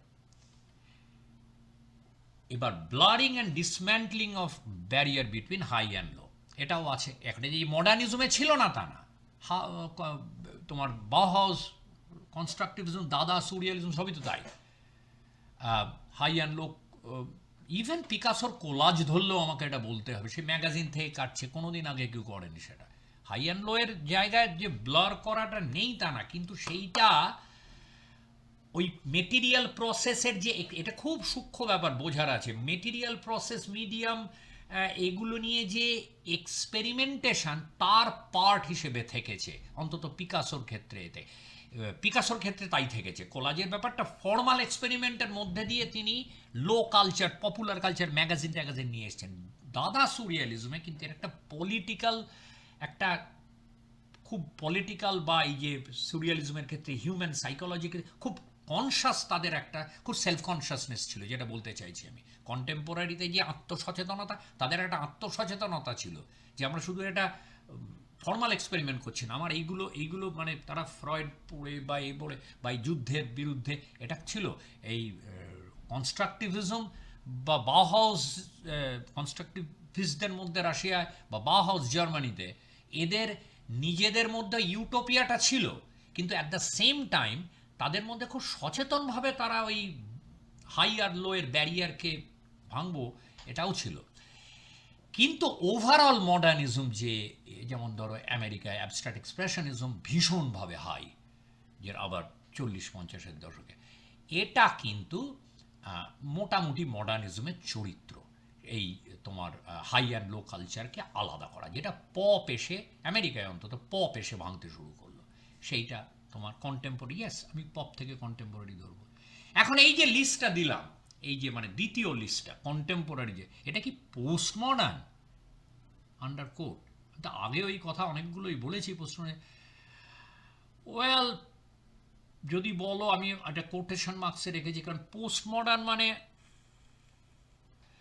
তুমি যদি পোস্ট মডার্নিটির জায়গা থেকে বলো হ্যাঁ মডার্নিজমের পরে আমি বলব এগুলো পোস্ট মডার্নিটির মানে পরিচয়। পোস্ট মডার্নিজমের জায়গা থেকে যদি বলো, ওটা আবার ওইটা অনেক স্পেসিফিক হয়ে যায় জিনিসটা। ওইটা একটু অস্বস্তিকর। প- এগুলোকে সব পোস্ট মডার্নিজম এই কথাটা কোনো মানে হয় না। এগুলো কি সব পোস্ট মডার্ন ট্রেন্ড আমি বলব হ্যাঁ এটা post modern trend post modern মডার্নিটির trend মানে পোস্ট মডার্ন ট্রেন্ড মানে পোস্ট মডার্নিটির ট্রেন্ড হ্যাঁ আমি বলব তাই। তো এখানে issues does contemporary art begin? Again জা- জার্মানি মনে করেছে উনিশশো পঁয়তাল্লিশে তারা ধুয়ে মুছে নতুন করে শুরু করেছে। ইউএসএতে কিন্তু নাইনটিন সেভেন্টিজ ধরা হয়। কারণ যুদ্ধের পর, যুদ্ধ হয়ে গেল মানেই তারপরেই যে পুরো নতুন জগৎ, গ্লোবাল ক্যাপিটাল, তা তো না। এখানে যুদ্ধের পর অ্যাকচুয়ালি মডার্নিজম আরও মডার্নিজম আগে পাত্তা দিত না তো আমেরিকান আর্টকে কেউ। এই যে অ্যাবস্ট্রাক্ট এক্সপ্রেশনিস্টদের এদের যে উত্থান গ্রিনবার্গের লেখা টেখা এগুলো তো চল্লিশ দশক থেকে পঞ্চাশ, ষাট পর্যন্ত বিরাট পাওয়ারফুল ছিল। এর, এরকে বলা হয় লেট মডার্নিজম লেট মডার্নিজমটা অ্যাকচুয়ালি বিকাশ লাভ, কারণ ইউরোপে তখন যুদ্ধের পর ওরা অনেক বেশি মানে ছত্রা খান লেট মডার্নিজমের উত্থানটা হয়েছে আমেরিকায়। তাহলে তুমি সেটাকে তো নাইনটিন ফোরটি ফাইভ ধরলে হবে না? এরিয়ার মতো বলো। কি বলবে? মডার্ন আর্ট কোনটা মডার্ন কোনটা কন্টেম্পোরারি ইন্ডিয়ায় ধরো আমি যদি এই যে আর্ট স্কুল ট্র্যাডিশনটাই ধরি আচ্ছা মিড নাইনটিন সেঞ্চুরিতে আর্ট স্কুল তৈরি হলো, তারপর অবন ঠাকুরের নেতৃত্বে বেঙ্গল স্কুল হলো। আমরা চিরকাল জেনে এসেছি যে মানে আমি কি ওই মডেলে ধরবো? ওই যে, বাংলার নবজাগরণের মডেলে যদি ধরি, এটা একটা অদ্ভুত ব্যাপার আছে। ওদিকে ওরা ওয়েস্টার্ন মডেল ফলো করছে। ওয়েস্টার্ন মডেল মানে ওয়েস্টার্ন লিবারালিজমের ব্রাহ্ম এরা। ওদিকে তোমার সনাতনী হিন্দু। আর্টের ক্ষেত্রে অবন ঠাকুর কিন্তু আর্ট স্কুলের যে ওয়েস্টার্ন মডেল সেটার অন্যদিকে গিয়ে অতটা বিরুদ্ধাচারণ কথাটা বলব না, কিন্তু ওটার অল্টারনেটিভ তৈরি করছেন। সেখানে তো ওয়েস্টার্ন মডেল ফলো করছেন না। কিন্তু আমরা বেঙ্গল একে ধরি, কিন্তু ওই অনেকটা মঙ্গল পাণ্ডের মতো, এটা হচ্ছে ইন্ডিয়ান যে resistance to British cultural imposition তা তো ধরি। হ্যাঁ ধরতেই পারে। মডার্ন আমি আমি কেন বেঙ্গল স্কুলকে ইন্ডিয়ান মডার্নিজম এইবার হচ্ছে মডার্নিজমের এই জায়গাটা আসছে, যে ওই যে একটু আগে যে মডার্নিজমটা দেখালাম, ওটার মানে ওয়েস্টার্ন মডেল না। আমার ইন, কিন্তু ওই, যেটা বল, দেখো, জীবন জগতের ক্ষেত্র, আর্টের ক্ষেত্র, ওই ওয়েস্টার্ন যে মডেল এইটিন সেঞ্চুরি এনলাইটমেন্ট ওটাকে না তুমি ফেলে দিতে পারবে না। এটা হচ্ছে যে যতই অস্বীকার, এটাকে দীপেশ চক্রবর্তীর মতো ঐতিহাসিক স্বীকার করে, ওটাকে নিয়ে তোমায় কাজ করতে হবে। তুমি কিছুতে কল, ওটা হয়েছে ইন্ডাস্ট্রিয়াল রেভলিউশন হয়েছে ইউরোপে, ইন্ডিয়ায় মতো দেশে কলোনাইজেশন হয়েছে টয়েছে হয়ে টয়ে নানান গণ্ডগোল হয়ে আজকে আমরা তারপরে পরবর্তীকালে গ্লোবালাইজেশন হয়ে এই জায়গায় পৌঁছেছি। ওটা হয়েছে, ওটা ঐতিহাসিক ফ্যাক্ট ফ্যাক্ট আমি ট্রুথ বলছি না ফ্যাক্ট এবং ওই ফ্যাক্টটাকে ফেলে দিয়ে, ও একদম অনেকে চায় ওটা বর্জন করো, একদম আমাদের মতো। হয় না। ওটাকে তোমায় নিয়ে কাজ করতে কিন্তু ওই যেমন অ্যাডাপ্ট করতে হবে অ্যাডপ্ট না। তা ইন্ডিয়ার ক্ষেত্রে আমি ওই মডেলটাকে ওইভাবে যদি না নিই, ওই আমি মানে ওই এক নম্বরটাকে নিলাম, ওই যে যে যা আছে সেটাকে অন্য কিছু, সেটা নিলাম। দুই নম্বরটা ওইভাবে নিলাম না। আমি সেদিক থেকে বেঙ্গল স্কুল কেন মডার্ন নয়? আবার উল্টো দিকে যদি দেখো একই সঙ্গে রবি বর্মা। রবি বর্মা একেবারে যেটা তুমি ওই সময়টা দেখো ওটা কিন্তু ইউরোপে আভাঙ্গার্ড কিন্তু রবি বর্মা তো রবি তো একেবারে যে ইউরোপের যেটা ডেকাডেন্ট বলা হচ্ছে, যে মানে আভাঙ্গাদরা যাকে ডেকাডেন্ট মনে করে একাডেমিক পেনে, সেইটাকে রবি বর্মা সেই আইকনোগ্রাফি স্টাইল টেকনিক এনে কিন্তু তার সাবজেক্ট হচ্ছে কমপ্লিটলি হিন্দু দেবদেবী এটসেট্রা ইন্ডিয়ান এইবারে রবি বর্মাকে নিয়ে কি করবে বুঝতে পারতো না। আরেকটা ব্যাপার ছিল রবি বর্মা যে তখন যে হাই আর্টের একটা ব্যাপার তৈরি হচ্ছে, রবি বর্মা ক্যালেন্ডার রবি বর্মার প্রিন্টগুলো ক্যালেন্ডার হতো, সেই জায়গা থেকে এক নাক কুচকানো ছিল। রবি বর্মাকে অনেক দিন পর্যন্ত অস্বীকার করা হয়েছে। এবার রবি বর্মাকে ধরা হতো বেঙ্গল স্কুলের অপোজিটে একটা অবক্ষয়ী ব্যাপার। অবক্ষয়ী না হলে এটা কি? এম্বারাসমেন্ট আমার কাছে তো রবি বর্মা মনে হয় যে খুব ভালো মতো একটা রেজিস্ট্যান্স এই যে আমি তোমার জিনিস নিয়ে, এই যে অ্যাডাপ্টেশন বলছি, তোমার জিনিস নিয়ে আমার রবি বর্মাকে বহু, আমরা যখন কলেজে পড়তাম, রবি বর্মাকে বলা হতো যে পুরো সেই ইউরোপের কিয়ারাস্কিউরো ওয়ান পয়েন্ট পার্সপেক্টিভ দিয়ে হিন্দু দেবদেবী। এটা কেমন? কারণ যে বেঙ্গল স্কুলের আমাদের বায়াসটা রয়েছে। বেঙ্গল স্কুলের যে সেন্ট্রাল ব্যাপারটা ছিল, আর রবি বর্মা একটা লোক, এই দুটো জায়গার মধ্যে রবি বর্মা হেরে গেছে চিরদিন। আজকাল লেখালেখি হচ্ছে। আজকাল বহু আলোচনা হয়েছে। রবি বর্মার ওটাকে তুমি কেন, তার মানে কি? এটা ওই ডাইকটমির ব্যাপার না। ব্রিটিশ, যদি বলা যায় ইংলিশ বা ইউরোপিয়ান মডেল এস্থেটিক মডেল বা আর্টিস্টিক মডেলকে কাউন্টার করা আমি বলব বেঙ্গল স্কুল একভাবে করেছে রবি বর্মা আরেকভাবে করেছে বেঙ্গল স্কুল একেবারে সরে গিয়ে মানে একেবারে নয়, বেঙ্গল স্কুলে মানে ওদেরও তো মানে অনেক সময়ই দেখা যায় পার্সপেক্টিভের ক্ষেত্রে ওয়ান পয়েন্ট পার্সপেক্টিভ আছে বেঙ্গল স্কুল এ তোমার যাই হোক, মোটামুটিভাবে এশিয়ান জায়গা থেকে এ, চায়না, জাপান নিয়ে করেছে অজন্তা। তারপরে নন্দলাল আবার পাল্টেছে সেটাকে নন্দলাল আবার পুরোপুরি অজন্তা টাইপের আইকনোগ্রাফিতে ফোকাস করেছে। এটা একভাবে আর ওদিকে তোমার রবি বর্মা আরেকভাবে এবার ধরো কলকাতায় জুবিলি আর্ট একাডেমি তৈরি হয়েছিল। জানো নিশ্চয়ই। এটা কি বেঙ্গল স্কুলের বিরোধিতা করে? তাহলে বেঙ্গল স্কুলকে যদি আমি বলি মডার্নিটি মানে modernism Indian modernism Jubilee Art একাডেমিটা কি? তাহলে কি পিছনে চলে যাওয়া আবার? ব্রিটিশের ওই মানে ইউরোপিয়ান মডেলকে আমি স্বাগত জানাচ্ছি আবার। না। আমি এগুলো আমার কাছে রবি বর্মা বেঙ্গল স্কুল। এই এই যে প্রবলেমটা কি হয় জানো তো? ওই যে ডাইকটমি দিয়ে আমি শুরু করেছিলাম তো, কিন্তু এই ডাইকটমিটাকে যদি তুমি বজায় রাখো, একটা হচ্ছে ইম্পোজ করা, আরেকটা হচ্ছে তার বিরুদ্ধে, তাহলে মুশকিল হয়ে যাবে। যেমন তোমাকে ওইখানে গিয়ে মানে তালিবানকেও তাহলে মডার্ন বলতে এই প্রবলেমটা আসবে। আর্টের ক্ষেত্রে যেটা মুশকিল হবে, তোমার মধ্যে চুজ করতে গিয়ে মুশকিল হয়ে যাবে, তোমার একজনকে ফেলতে হবে।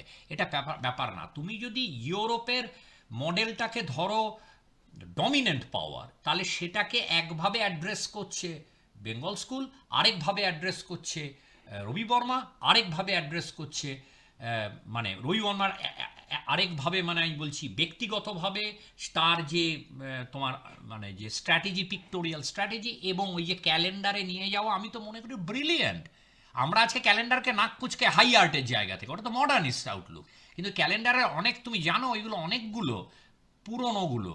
রবি বর্মার করা পরে আরও অন্য করেছে সেই ধ্যাবরা ধ্যাবরা কিন্তু রবি বর্মার করা অনেকগুলো। আজকে সেসব ক্যালেন্ডারের ওই ক্রোমোলিথোগ্রাফ তুই পাবে না বিরাট দাম। আরেকভাবে করেছে তার এই তোমার ইয়েরা তোমার জুবিলি আর্ট একাডেমি হেমেন মজুমদারের যে ধারাটা। হেমেন মজুমদারের আমরা বড় হয়েছি হেমেন মজুমদারের স্কিলকেও অস্বীকার করে না। কিন্তু আর না হ্যাঁ কি হ্যাঁ, ভেজা কাপড়ের মহিলা। কিন্তু না, আমি মনে করি হেমেন মজুমদার, এখন আমি তাকে আবার, ও হি ওয়াজ গ্রেট এটা বলাটাও, এই গ্রেটের জায়গাটাকে আমি ছাড়তে চাই। দারুণ দারুণ গ্রেট এটা না। কি আছে হিস্টোরিক্যালি দেখো। হেমেন মজুমদার একটা রোল আছে জুবিলি আর্ট একাডেমির যে জায়গাটাকে রিপ্রেজেন্ট করে, একটা রোল যামিনী রায়। আমি বসন্ত জানা জায়গাটা বাদ রাখছি, আমি ওটা পুরোপুরি জানি না তো, আমি ওখানে দাবি করতে পারি না। যামিনী রায় মানে যামিনী রায় তো অ্যাকচুয়ালি বেঙ্গল স্কুল থেকে তিতি বিরক্ত হয়ে বেরিয়ে গেছে। যামিনী রায় তো মডার্ন ইউরোপিয়ান মডার্নিজম গুলে খেয়েছে। তারপরে ওটা তৈরি হয়েছে। এখন তার মধ্যে অনেক ওই গল্পটা থাকে। কিন্তু ওটা আরেক রকমের এরা কিন্তু সবই মডার্নিটির আমি বলব মডার্নিটি মডার্নিজম ইন্ডিয়ান মডার্নিজমের বিভিন্ন ধারা। এই যে মডার্নিজমের ইউরোপে ইউরোপের মডার্নিজমেও তো বিভিন্ন ধারা রয়েছে। তোমার ওই যে বললাম, দু- দাদা সুরিয়ালিজম তো ওই মডার্নিজমের মধ্যেই অন্যরকম কথা বলছে। বহস কনস্ট্রাকটিভিজম তো অন্যরকম কথা। ইন্ডিয়াতে কেন হবে না? এই যে এই যে এই যে এই যে কি বলব, এই স্টার স্ট্রাক একটা ব্যাপার উ গ্রেট আর্টিস্ট আমাদের কত ঐতিহ্য, এইগুলো না স্কলারলি কাজে, জ্ঞানের ক্ষেত্রে অ্যাকুইজিশন অফ নলেজ ভীষণ হার্মফুল আগেই তুমি একেবারে বিভু- কীর্তন গাইতে শুরু করলে। মানে এগুলো মানে হয় না। ঠান্ডা মাথায় দেখো। আজকে তোমার যে তিরিশের দশকে খদ্দুর যাত্রা জানা ছিল না তো এতদিন। আমরা কোনো শুনেছিলাম খদ্দুর যাত্রা যে অবন ঠাকুরের কোলাজ, এই রাদুর ইয়ে দিয়ে খাদিম বাট ইনক্রেডিবল কোলাজ করছেন ভদ্রলোক, যে ওই ভারত মাতা, আমরা অমন ঠাকুরকে ভারত মাতা দিয়ে চিনি চেঞ্জ করে গেছে। চেঞ্জ করে গিয়েছিল। গগন ঠাকুর ভীষণভাবে অপোজ ছিলেন এই অমন ঠাকুরের এই বেঙ্গল স্কুলে হ্যাঁ অনেক গোঁড়ামি ছিল প্রথম। তারপরে যখন ভাঙছে, নিজেরই ছাত্ররা অন্যভাবে করছে, পরের জেনারেশান উনি প্রবীণ বয়সে, তারপরে গগন ঠাকুর তো স্ট্রোকের পর আর কাজ করাই বন্ধ হয়ে গেল। গগন ঠাকুরের যে কিউবিজম নিয়ে এক্সপেরিমেন্ট অন্য ধরনের, এই অসাধারণ কথাটা না বলে কি, ঠিক কি ধরনের অ্যানালাইজ করলে ভালো হয়? কিউবিজম সেই ঠাকুর বাড়ির সেই আলো ছায়ার মধ্যে কিউবিজম ওইটা হচ্ছে অ্যাডাপ্টেশন ওটা কেন মডার্নিজম নয়? মানে ইন্ডিয়ান মডার্নিজম অবন ঠাকুর তারপরে চলে যাচ্ছে, ওই ক্ষুদ্র যেটা কি, ওটা ডায়েরি স্কেচ কিন্তু তুমি দেখো এখানে এই ওয়েস্টার্ন ওয়ার্ল্ডে যত তোমার ওই যে কাটস ভিটাস বা এই ধরনের যারা দাদা সুরিয়ালিস্ট তাদের এই সব নানান রকমের স্কেচ বুক বা এই নিয়ে আজকাল কত লাফালাফি। ক্ষুদ্র যাত্রা সেখানে একটা মানে incredibly powerful example of Indian modernism একটা ধারা। মডার্নিজম মানে এইখানে হচ্ছে ব্যাপার যে ইন্ডিয়াতে ইন্ডিয়ার মতো দেশে যেখানে অনেক রকম জিনিস এসে ভিড়েছে এবং এই যে ইন্ডাস্ট্রিয়ালাইজেশনের জায়গাটা খুব কমপ্লেক্স মডার্নিজমটাও এক রকম হবে না। নানান ধারা আছে মডার্নিজমের সেই জন্যে কন্টেম মডার্নিজম ইন্ডিয়ায় মড আর্টের ক্ষেত্রে মডার্ন কবে কন্টেম্পোরারি হচ্ছে, এইটা নিয়ে ব্যাপার। বিতর্কটা এইখানে এসে ঠেকে। যখন ধরো, পঁয়তাল্লিশ বা সত্তর, নয় তো নয় তো, আশির দশক পর্যন্ত ইন্ডিয়াতে মডার্ন মডার্নিজম মানে ওই যে প্রথম ছক, প্রথম লিস্টটা ওইগুলোকে মেনটেন করার দরকার ছিল। দ্বিতীয়টা কন্টেম্পোরারি যে লিস্টটা দিলাম, সেটা গ্লোবাল কি? সেটা গ্লোবাল এইখানে একটা জিনিস ভাবতে হবে গ্লোবাল আর ইউনিভার্সালের তফাৎ। আমি এটা আগেও বলেছি ইউনিভার্সাল হচ্ছে না ভেবে চিনতে সব একই জিনিস সবার ক্ষেত্রে প্রযোজ্য। গ্লোবাল তা নয় গ্লোবালকে ওইভাবেই দেখা হয় ইউনিভার্স ইউনিভার্সাল হিসেবে। গ্লোবালও তো তার মানে অ্যাবিউজড হয়ে গেছে টার্মটা আমার কাছে গ্লোবাল হচ্ছে যে যে লোকালকে অ্যাড্রেস করে হবে গ্লোবাল তাহলে তুমি একজন আর্টিস্ট হিসেবে ওই, ওইগুলোকে দড়াম দড়াম করে ইন্টারনেট দেখে ওখানে কি ইংল্যান্ডে স্টাকিজম বা ওয়াইবিএ আর এখানে এইগুলো দেখে আমি লাগিয়ে দিলাম, ওটাকে গ্লোবালিজম বলে না। ওটাকে কিছুই ওটা একটা ইডিওসি বলে। তোমাকে ভাবতে হবে আমার জায়গা থেকে আমি কীভাবে সেটাকে কাজে লাগাবো। এখন ইন্ডিয়ার ক্ষেত্রে সত্তর, ষাট, সত্তর, আশির দশকে এই যে ওপরের জার্মানি ইউএসের কথা বলছি এটা ছিল না। এটা মানে এই প্রেক্ষিতটা ছিল না। এটা আমি বলব মোটামুটিভাবে নাইনটিস। এই দরজা, এই যে বললাম, এই ক্যাপিটালিজমের সঙ্গে একটা যোগ, এই নাইনটিজে তোমার ইকোনমিক লিবারালাইজেশনের পর থেকে আমি ইন্ডিয়া ওই দ্বিতীয় লিস্টটাকে নিয়ে নিয়ে দেখতে পারি কি হচ্ছে না হচ্ছে। কিন্তু আবারও বলছি, একজনের কাজ দেখে, দুটো আর্টিস্টের কাজ দেখে কাজ দেখে আমি বলছি যে এটা মডার্নিস্ট এটা কন্টেম্পোরারি আমি জেনারেলি বলতে পারি, কিন্তু সেটা ভুল হতে পারে। পরে হয়তো কাজটা দেখে ওইভাবে কিছু বলা যায় না পার্টিকুলারলি যদি স্ট্যাটিক ছবি হয়। আমাকে তার আলাদা অ্যাটিচিউড আমি যদি একটা ইনস্টলেশন দেখি, তাহলে তো ওখানেই আমি বুঝতে পারছি। কিন্তু একটা কতগুলো, একটা সিরিজ অফ পেইন্টিংস যদি দেখি ও বলা মুশকিল। পেইন্টিংস তো হচ্ছে না মিডিয়ামের দাসত্ব ইয়ে বলে, কিন্তু পেন্টিং তো হচ্ছে। হান্স হাকার পেন্টিং আমি দেখাইনি তোমার মার্ক ট্যানজির পেন্টিং দেখাইনি কেইন্ডে ওয়াইলির পেন্টিং দেখাইনি, এবারে এই যে আগে ন্যাচারালিজম রিয়েলিজমের এতে ফটো রিয়েলিজম হচ্ছে, কেন হবে না? কিন্তু কোন জায়গা থেকে হচ্ছে? সেইটা আমাকে বুঝতে হবে। একজন আর্টিস্টকে আমি মডার্ন বল মডার্ন বলব না কন্টেম্পোরারি বলব? আমি মডার্ন কথাটা বলব না এখন। আর্টিস্টের ক্ষেত্রে আমি বলব মডার্নিস্ট মানে সে একটা ইজুমে আটকে আছে। আর কন্টেম্পোরারি মানে আমি আরও ওটা ফ্লুইড কন্টেম্পোরারিটা কবে ইয়ে হচ্ছে তোমার কবে শুরু হচ্ছে, এটা নিয়ে যে বললাম একটা বিতর্ক ইন্ডিয়ার কিন্তু মোটামুটি নাইনটিস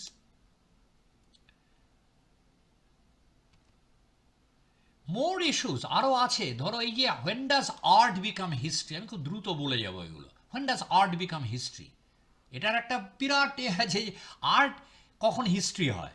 আমরা তো সাধারণত কি কমন সেন্স একটু দূরে সামনে থাকলে তো নাকের ডাগায় তো তুমি ফোকাস পাবে না। দূরে গেলে কতটা দূর? আগে কি নিয়ম ছিল? আর্ট হিস্ট্রির ধরো এই টোয়েন্টি সেঞ্চুরির মাঝখানেরও অনেকটা পরপর ষাট সত্তরের দশক পর্যন্ত আর্ট হিস্ট্রি ডিসিপ্লিনে আর্ট হিস্টোরিয়ান বলা হতো, যারা অন্তত মানে ষাটের দশকে আর্ট হিস্টোরিয়ান বলা হবে মানে মডার্নিস্ট মানে মনে ইমপ্রেশনিজম নিয়ে কাজ করলেও আর্ট হিস্টোরিয়ান ওই আর কি মানে আরও পুরনো নিয়ে কাজ করতে হবে। কি করবে আর্ট হিস্টোরিয়ান সে আর্কাইভে যাবে সে নানান রকম পুরনো জিনিস ঘাটবে দিয়ে আর হিস্ট্রি দূর থেকে পাস্টকে দেখছে। আর কন্টেম্পোরারি নিয়ে যারা লিখ কন্টেম্পোরারি মানে ওই প্রথমটা অনুযায়ী সমকালীন নিয়ে যারা লিখতো তারা তাদের কোনো সাইটেশন থাকতো না তাদের কোনো রেফারেন্স দিতে হতো না তারা ওপিনিয়ন পিস টাইপের লিখতো। হ্যাঁ, একদম ওপিনিয়ন পিস এটা ছিল ষাট ষাট সত্তর দশক পর্যন্ত এটা বদলে গেছে। বদলে গেছে অনেকটা। আমরা যারা গ্র্যাজুয়েট স্কুলে পড়েছি মানে যারা মাস্টার্স মানে হায়ার লার্নিংয়ের মধ্যে। এটা পরিষ্কার আমরা দেখেছি এইটিজ নাইনটিজে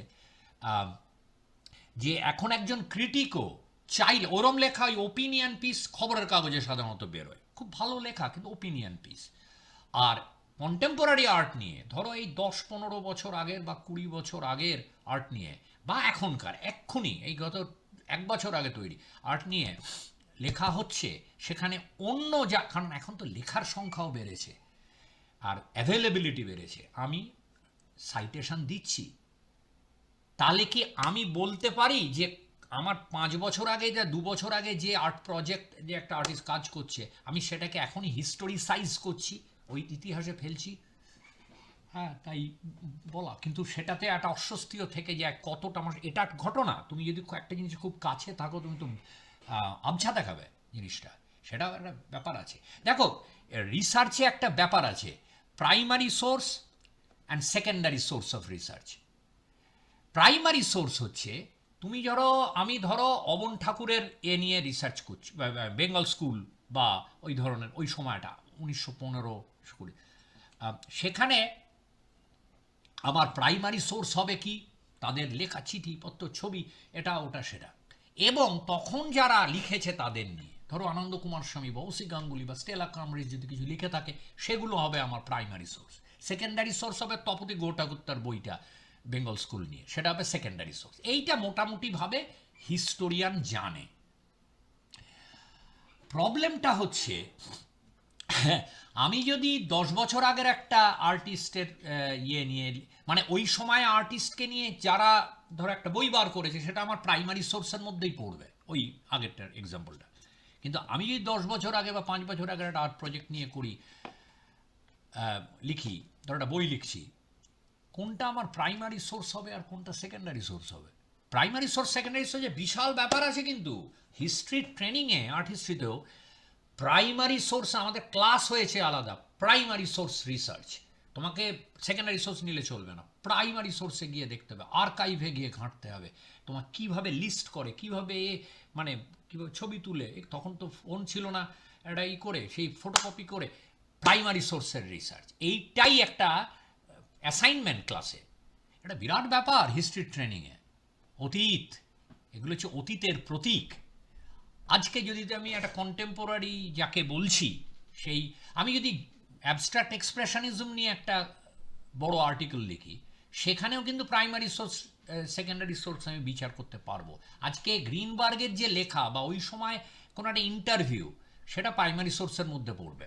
ওই সময় যদি পলকের একটা এক্সিবিশনের ক্যাটালগ বেরিয়ে থাকে, ওটা প্রাইমারি সোর্সের মধ্যে পড়বে। কিন্তু কোন জায়গায় গিয়ে ওটা প্রাইমারি থেকে যেমন অতীতের যে তোমার থেকে তফাতটা যদি বাড়ে অনেকটা থাকে, তাহলে আমি বলতে পারি কোনো একটা জায়গায় চৌকাট পেরোনো না, কোনো একটা জায়গায় গিয়ে প্রাইমারি সোর্স আর সেকেন্ডারি সোর্স তফাতটা শুরু হয়ে যায়। অনেকটা সময় আছে তো অনেকটা সময় মাঝখানে। কিন্তু যে পঞ্চাশের দশকে কাজ করে গেছে, তার তার সঙ্গে কথা বলেছে এমন লোক তো আজকেও আছে, বেঁচে আছে তো এখনও, বুড়ো হয়ে গেছে, আছে। তাকে যদি আমি ইন্টারভিউ করি, সে কি আমার প্রাইমারি সোর্স হবে? পলকের ওপর অ্যাবস্ট্রাক্ট এক্সপ্রেশনিজমের ওপর। গ্রিনবার্গ তো নাইনটিজে মারা গেল, নাইনটি ফোর, নাইনটি ফোরে। সে কি আমার তখন যে ইন্টারভিউটা নিচ্ছি প্রাইমারি সোর্স হবে না সেকেন্ডারি সোর্স হবে? বা এই লোকটা যদি আজকে একটা কিছু লেখে, ওই তার সাক্ষাৎ মানে সাক্ষাৎ দর্শন যারা আছে, তাহলে প্রাইমারি সোর্স সেকেন্ডারি সোর্স হবে। এটা ব্যাপার। তপতির বইটা, তপতি তো বেঙ্গল স্কুলের সময়, ওই সময় ছিল না। কিন্তু এখন যে লোকটা তার মানে কি, সময়টা এগিয়ে আরও পরে যদি ধরো পপ নিয়ে, অ্যান্ডি ওয়ারহোলকে নিয়ে যে লিখছে আজকে, সে অ্যান্ডি ওয়ারহোলের সঙ্গে রীতিমতো বসে ডিনার খেয়েছে। প্রাইমারি সোর্স হবে না সেকেন্ডারি সোর্স হবে? তার লেখাটা এইগুলো সমস্যাটা হয়ে যায়। কিন্তু এবং মজাও বটে। এটা সেই জন্য আজকে আর্ট হিস্টোরিয়ান আর আর্ট ক্রিটিকের রোলটা অনেকটা ধাক্কা খায় কোএক্সিস্ট করে ওভারল্যাপ করে ইত্যাদি আর কি।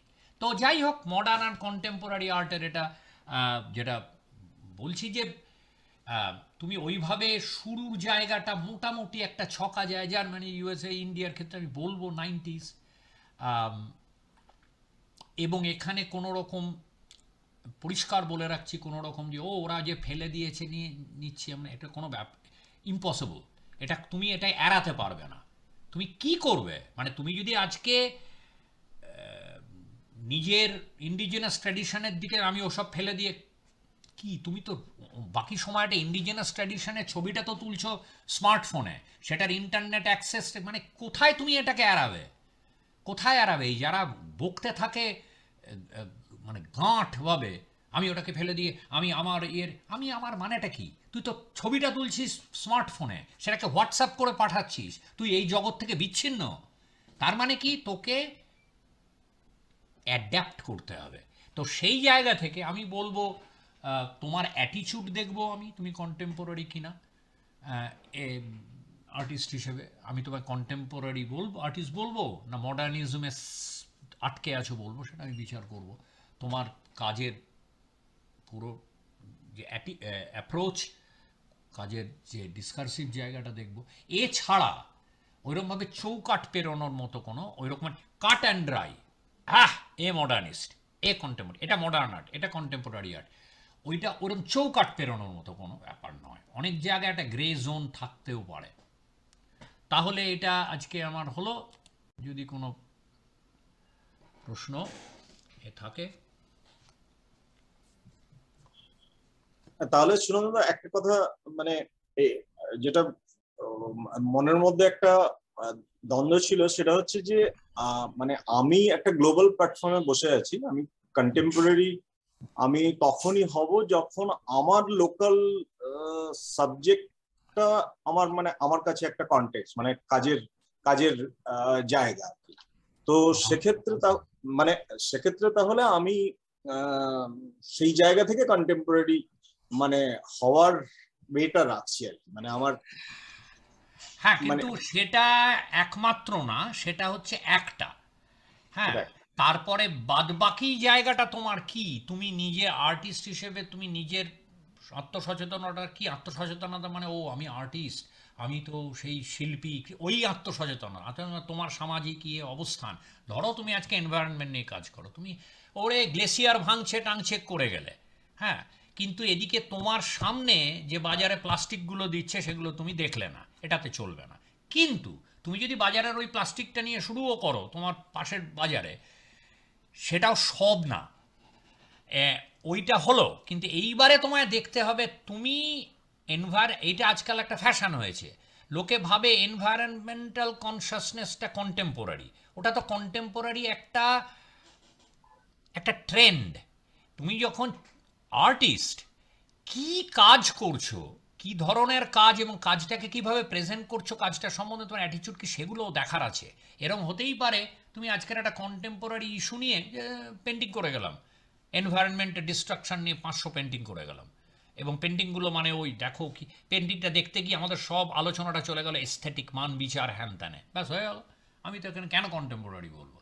ওই যে উপাদানগুলো উপাদানগুলো এমন নয় মডার্নিজমের ক্ষেত্র কন্টেম্পোরারি ক্ষেত্র, আমি যেটা মাথায় এসছে, লিখেছি, এমন নয় যে উপাদানগুলো সবই থাকতে হবে একজনের কাজে। উপাদানগুলো কিছু থাকতে পারে, কিছু না থাকতে পারে। কিন্তু বিরোধী হয়ে গেলে মুশকিল।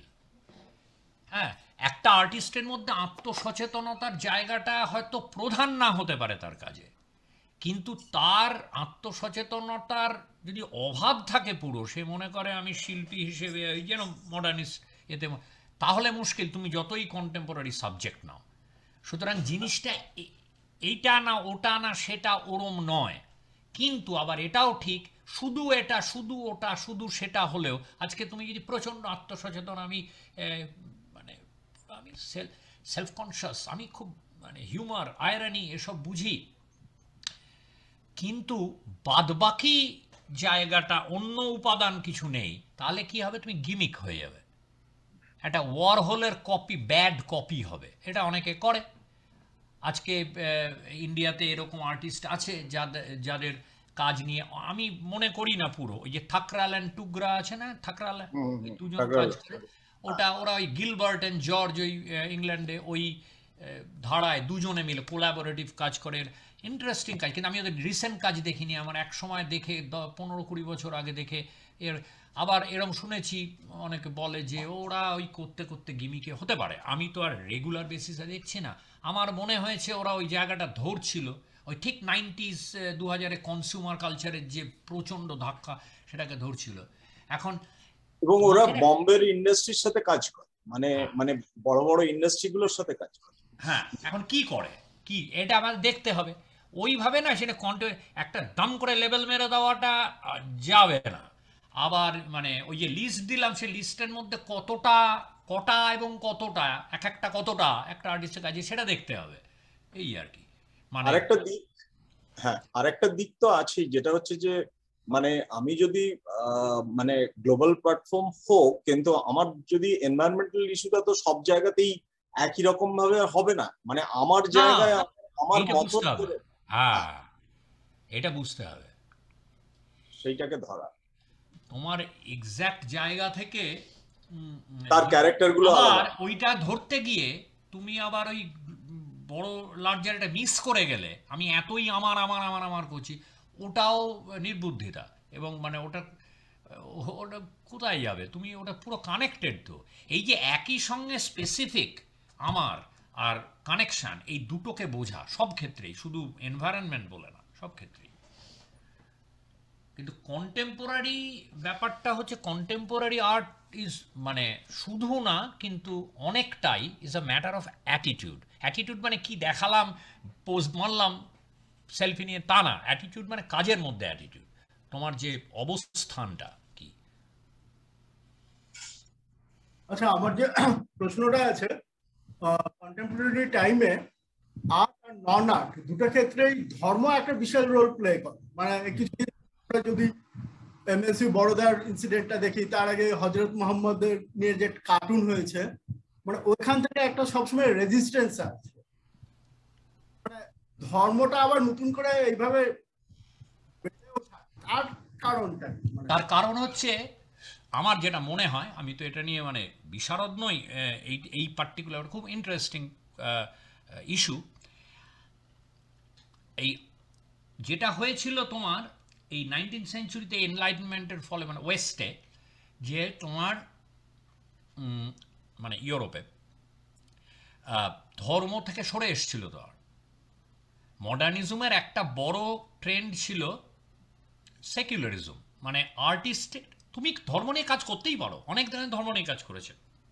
যিশু টিশুর ছবি আঁকছে ফাইন কিন্তু সেটার কোনো বাধ্যবাধকতা নেই, এইটা হয়ে গিয়েছিল ইউরোপিয়ান মডার্নিজমে কারুর মধ্যে শুধু স্পিরি, মন্দ্রিয়ানের মধ্যে স্পিরিচুয়ালিটি ছিল, কিন্তু নট রিলিজিয়ান বা পেছনেও ডাচ প্রোটেস্টান্ট ব্যাপারটা ছিল, কিন্তু ওটা সামনে আসতো না।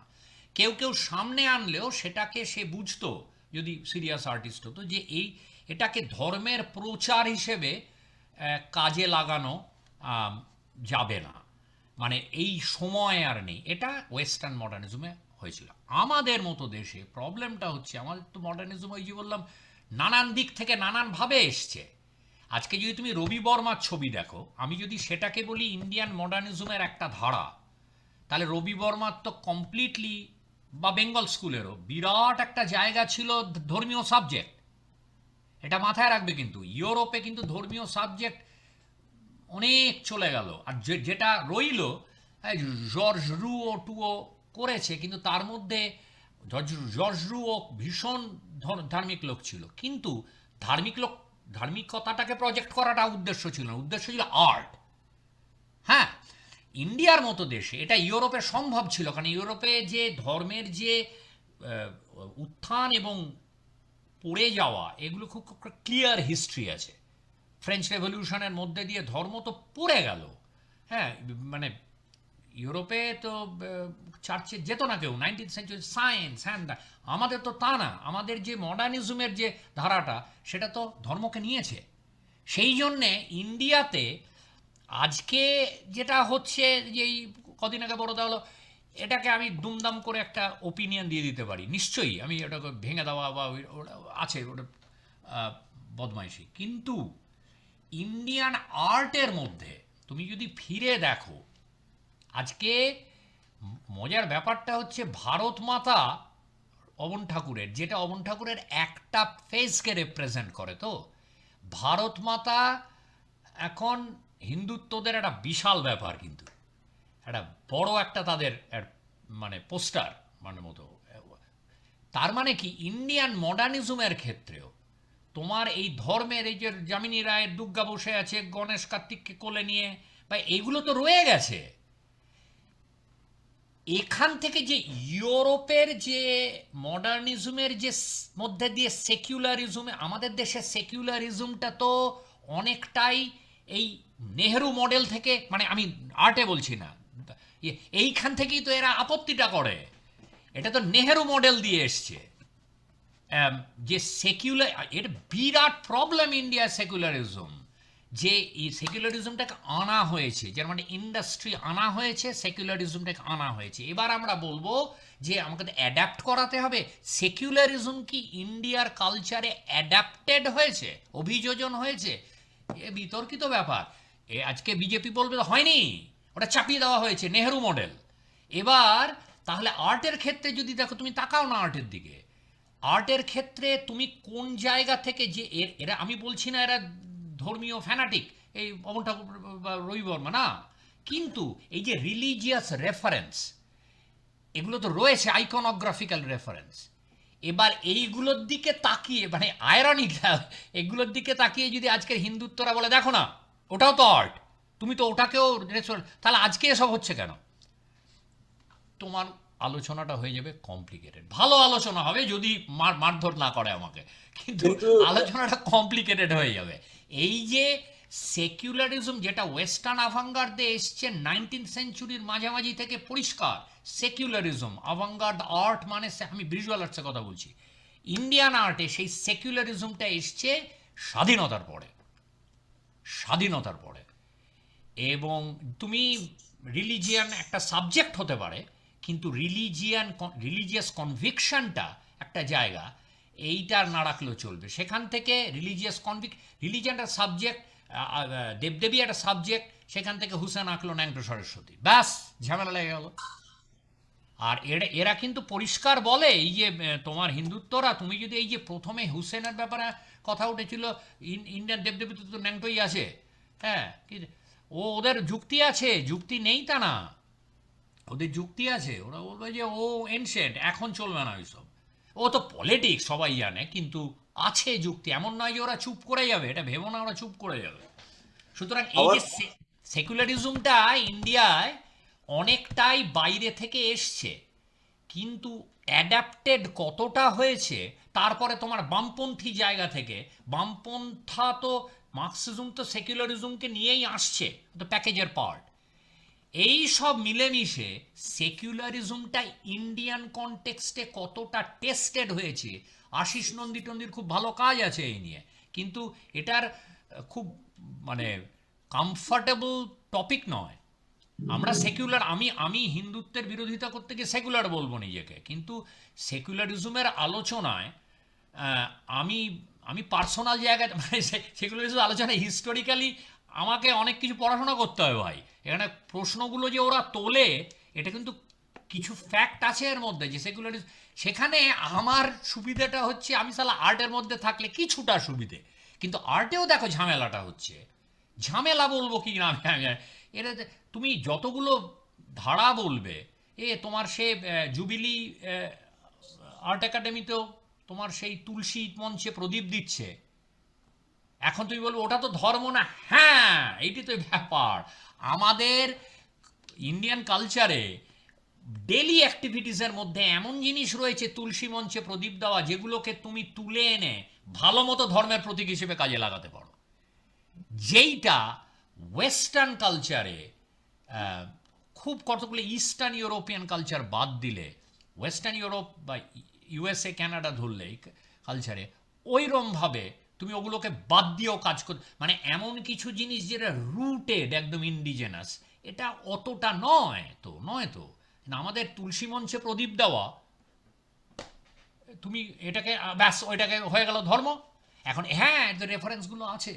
এইটাই তোমার সেকুলারিজম ব্যাপারটা, শান্তি, খুব প্রবলেম ইন্ডিয়া তবে শুনুন বিলিভনেসটাও তো একটা মানে ব্যাপার যে, এই যে আমরা বলি না যে সমস্ত মুসলিমরা হিন্দুদের সমস্ত মন্দির ভেঙে দিয়ে, যেটা এখন আবার নাড়াচাড়া দিয়েছে, যে কুতুব মিনারের ভেতর বিষ্ণু বিষ্ণু স্তম্ভ মুক্ত।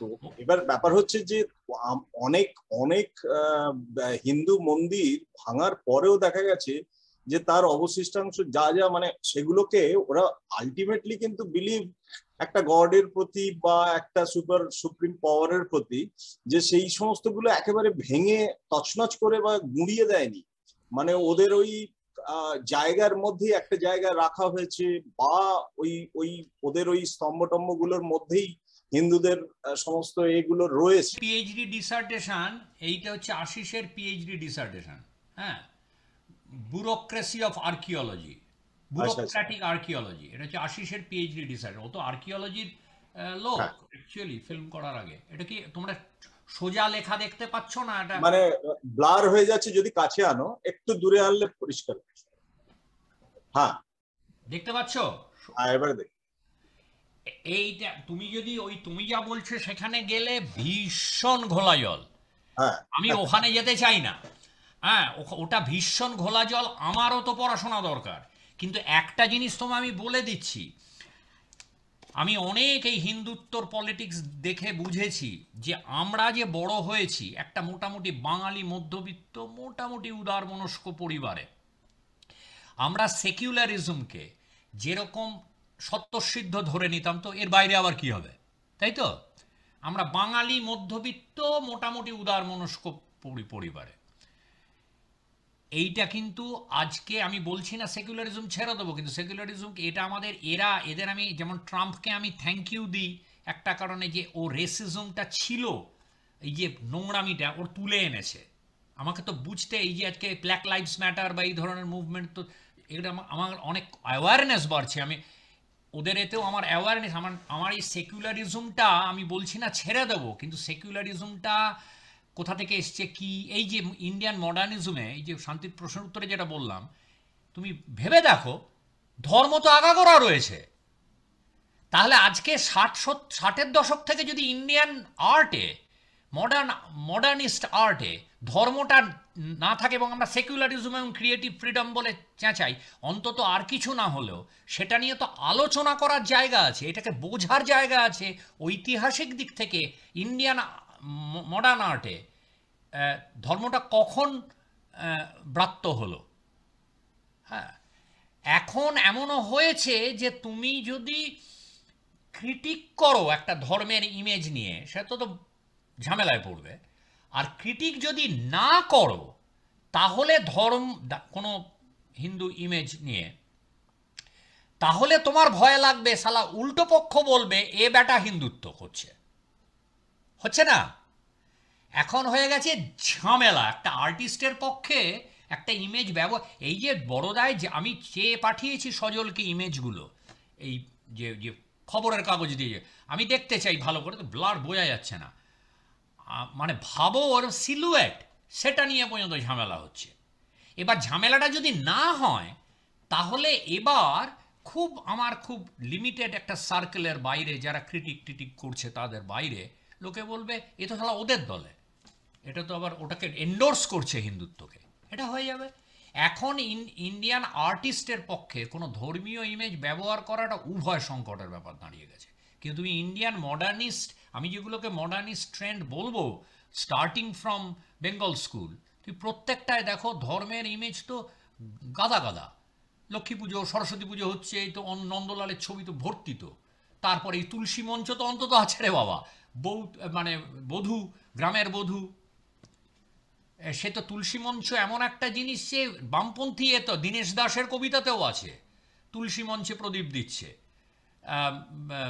তারপরে তোমার রানার, এই যে গ্রামের বধূর যে একটা ইয়ে সেখানে ওই রানার কবিতাটা সুকান্তর আছে। আমাদের আমাদের এইখানেই হচ্ছে ইন্ডিয়ার মডার্নিটি আর্টের বাইরে বলছি মডার্নিটি আর ওয়েস্টার্ন মডার্নিটির তফাৎ হচ্ছে ওয়েস্ট এই যে ধরো, আর কিছু না, এই যে ইন্ডিজিনাস ট্র্যাডিশনের সঙ্গে আমাদের সম্পর্ক, এটাও তো খুব গোলমেলা গোলমেলা মানে কি মেসি জায়গায় আছে। মেসি জায়গায় আমার কাছে আবার ইন্টারেস্টিংও খুব। আমার আজকে একটা ইন্ডিয়া একটা এই যে আর্টি কন্টেম্পোরারি আর্টিস্টের সঙ্গে তোমার পট বা এর সম্পর্ক কি এটা খুব একটা ইন্টারেস্টিং জায়গা আছে, কিন্তু আবার গোলমাল মানে অনেক জটিল আর কি, জটিল। ওয়েস্টে অনেক মানে ওয়েস্টার্ন ইউরোপিয়ান যদি এনলাইনমেন্টের এটা ধরো, এই যে ধাপে ধাপে যাকে ফোক বলবে সেটা মার্জিনালাইজড হয়ে গেছে এবং তার একটা ক্লিয়ার জায়গা আছে, পরিষ্কার ধর্ম চলে গেছে। সেকিউ সেকুলারিজম এই ওয়েস্টে খুব ফার্মলি হ্যাঁ ধর্মের লোক নেই, আছে, কিন্তু তাদের সঙ্গে সেকুলার আর রিলিজিয়াসের যে কনফ্লিক্ট এটা খুব ক্লিয়ার কাট এ। এরা এই দেখাতে পারে এদেরও তো ধরো আর্টের ক্ষেত্রেই। দেড়শো বছরের একটা ইতিহাস তো তৈরি হয়ে গেছে, যেখানে রিলিজিয়ানকে মার্জিনালাইজ, রিলিজিয়াস সেন্টিমেন্টকে মার্জিনালাইজ। ওটা আমার পার্সোনাল প্রেফারেন্স আর্টিস্টের, কিন্তু আর্টের মডার্নিস্ট ডিসকোর্স রিলিজিয়ানকে আলাদা করে কোনো জায়গা দেয় না। এটা তো হয়ে গেছে। জীবনেও যেমন, আর্টেও তেমনি। আমাদের তো হয়নি, আমাদের আর্টই দেখো না, এই তো। সমস্ত কিছুর মধ্যে জড়িয়ে আছে, ঝামেলা আছে ঝামেলা আছে। ইন্ডিয়ায় তুমি এখন কোনো রিলিজিয়াস আইকন নিয়ে কোনো কাজ করা, তুমি ইদার এদের রোষে পড়বে নালে ওদের রোষে পড়বে। একজনরা পেঁদাবে মানে লিটারালি পেঁদাবে, আরেকজনরা তো লিটারালি পেঁদাবে না, গালাগাল দেবে। বরং ওই ওই কথাই শেষ কথা বোধহয় এখন ওই যে একই বৃন্তে দুটি কুসুম, হিন্দু মুসলমান, এই যে এই যে একটা কথা মানে বলে যাওয়া আফটার অল মানে মনুষ্যত্বের কথা মানুষই মানে এ। হ্যাঁ কিন্তু মুশকিলটা হচ্ছে ওইটা ওই হিউম্যানিজমের কথাটা বলতে বলতে একটা জায়গায় গিয়ে ওটা এইগুলোকে ঢাকা হয়ে যায়। তখন তুমি তোমার তুমি ব্যান্ডেড দিচ্ছ। তোমার একটা স্কিন ক্যান্সার হয়েছে তুমি ব্যান্ডেড লাগাচ্ছ। কতক্ষণ তুমি রাখবে? তো হয় না মানে একটা সময় গিয়ে ইরাপ্ট করবেই। তুমি ওটাকে ওই বাবা সবাই সবাই মিলেমিশে থাকো। এ তো এখানে চেষ্টা করেছে, সবাই মিলেমিশে তাকে রেস হচ্ছে, হলো। সে তো ষাটের দশকে সিভিল রাইটস মুভমেন্টের পর থেকে সব মিলেমিশে। Let's get along with each other এর একটা ব্যাপার। কালার ব্লাইন্ডনেস এটা তো বুলশেট এর হয় নাকি ওভাবে? তোমার সিস্টেম রয়েছে কমপ্লিটলি শোষক মানে ওকে শোষণ করার জন্য। সেখানে তুমি কি ব্যান্ডেড দিয়ে রাখবে? এখানেও তাই। আমাদের সিস্টেম রয়েছে, শোষণের কথা বলছি না, যে আমাদের সমস্ত কিছুর মধ্যে জড়িয়ে রয়েছে ধর্ম। সেটা তো ওয়েস্টে নেই এখন সেখানে আর্ট তো অনেক পরের কথা।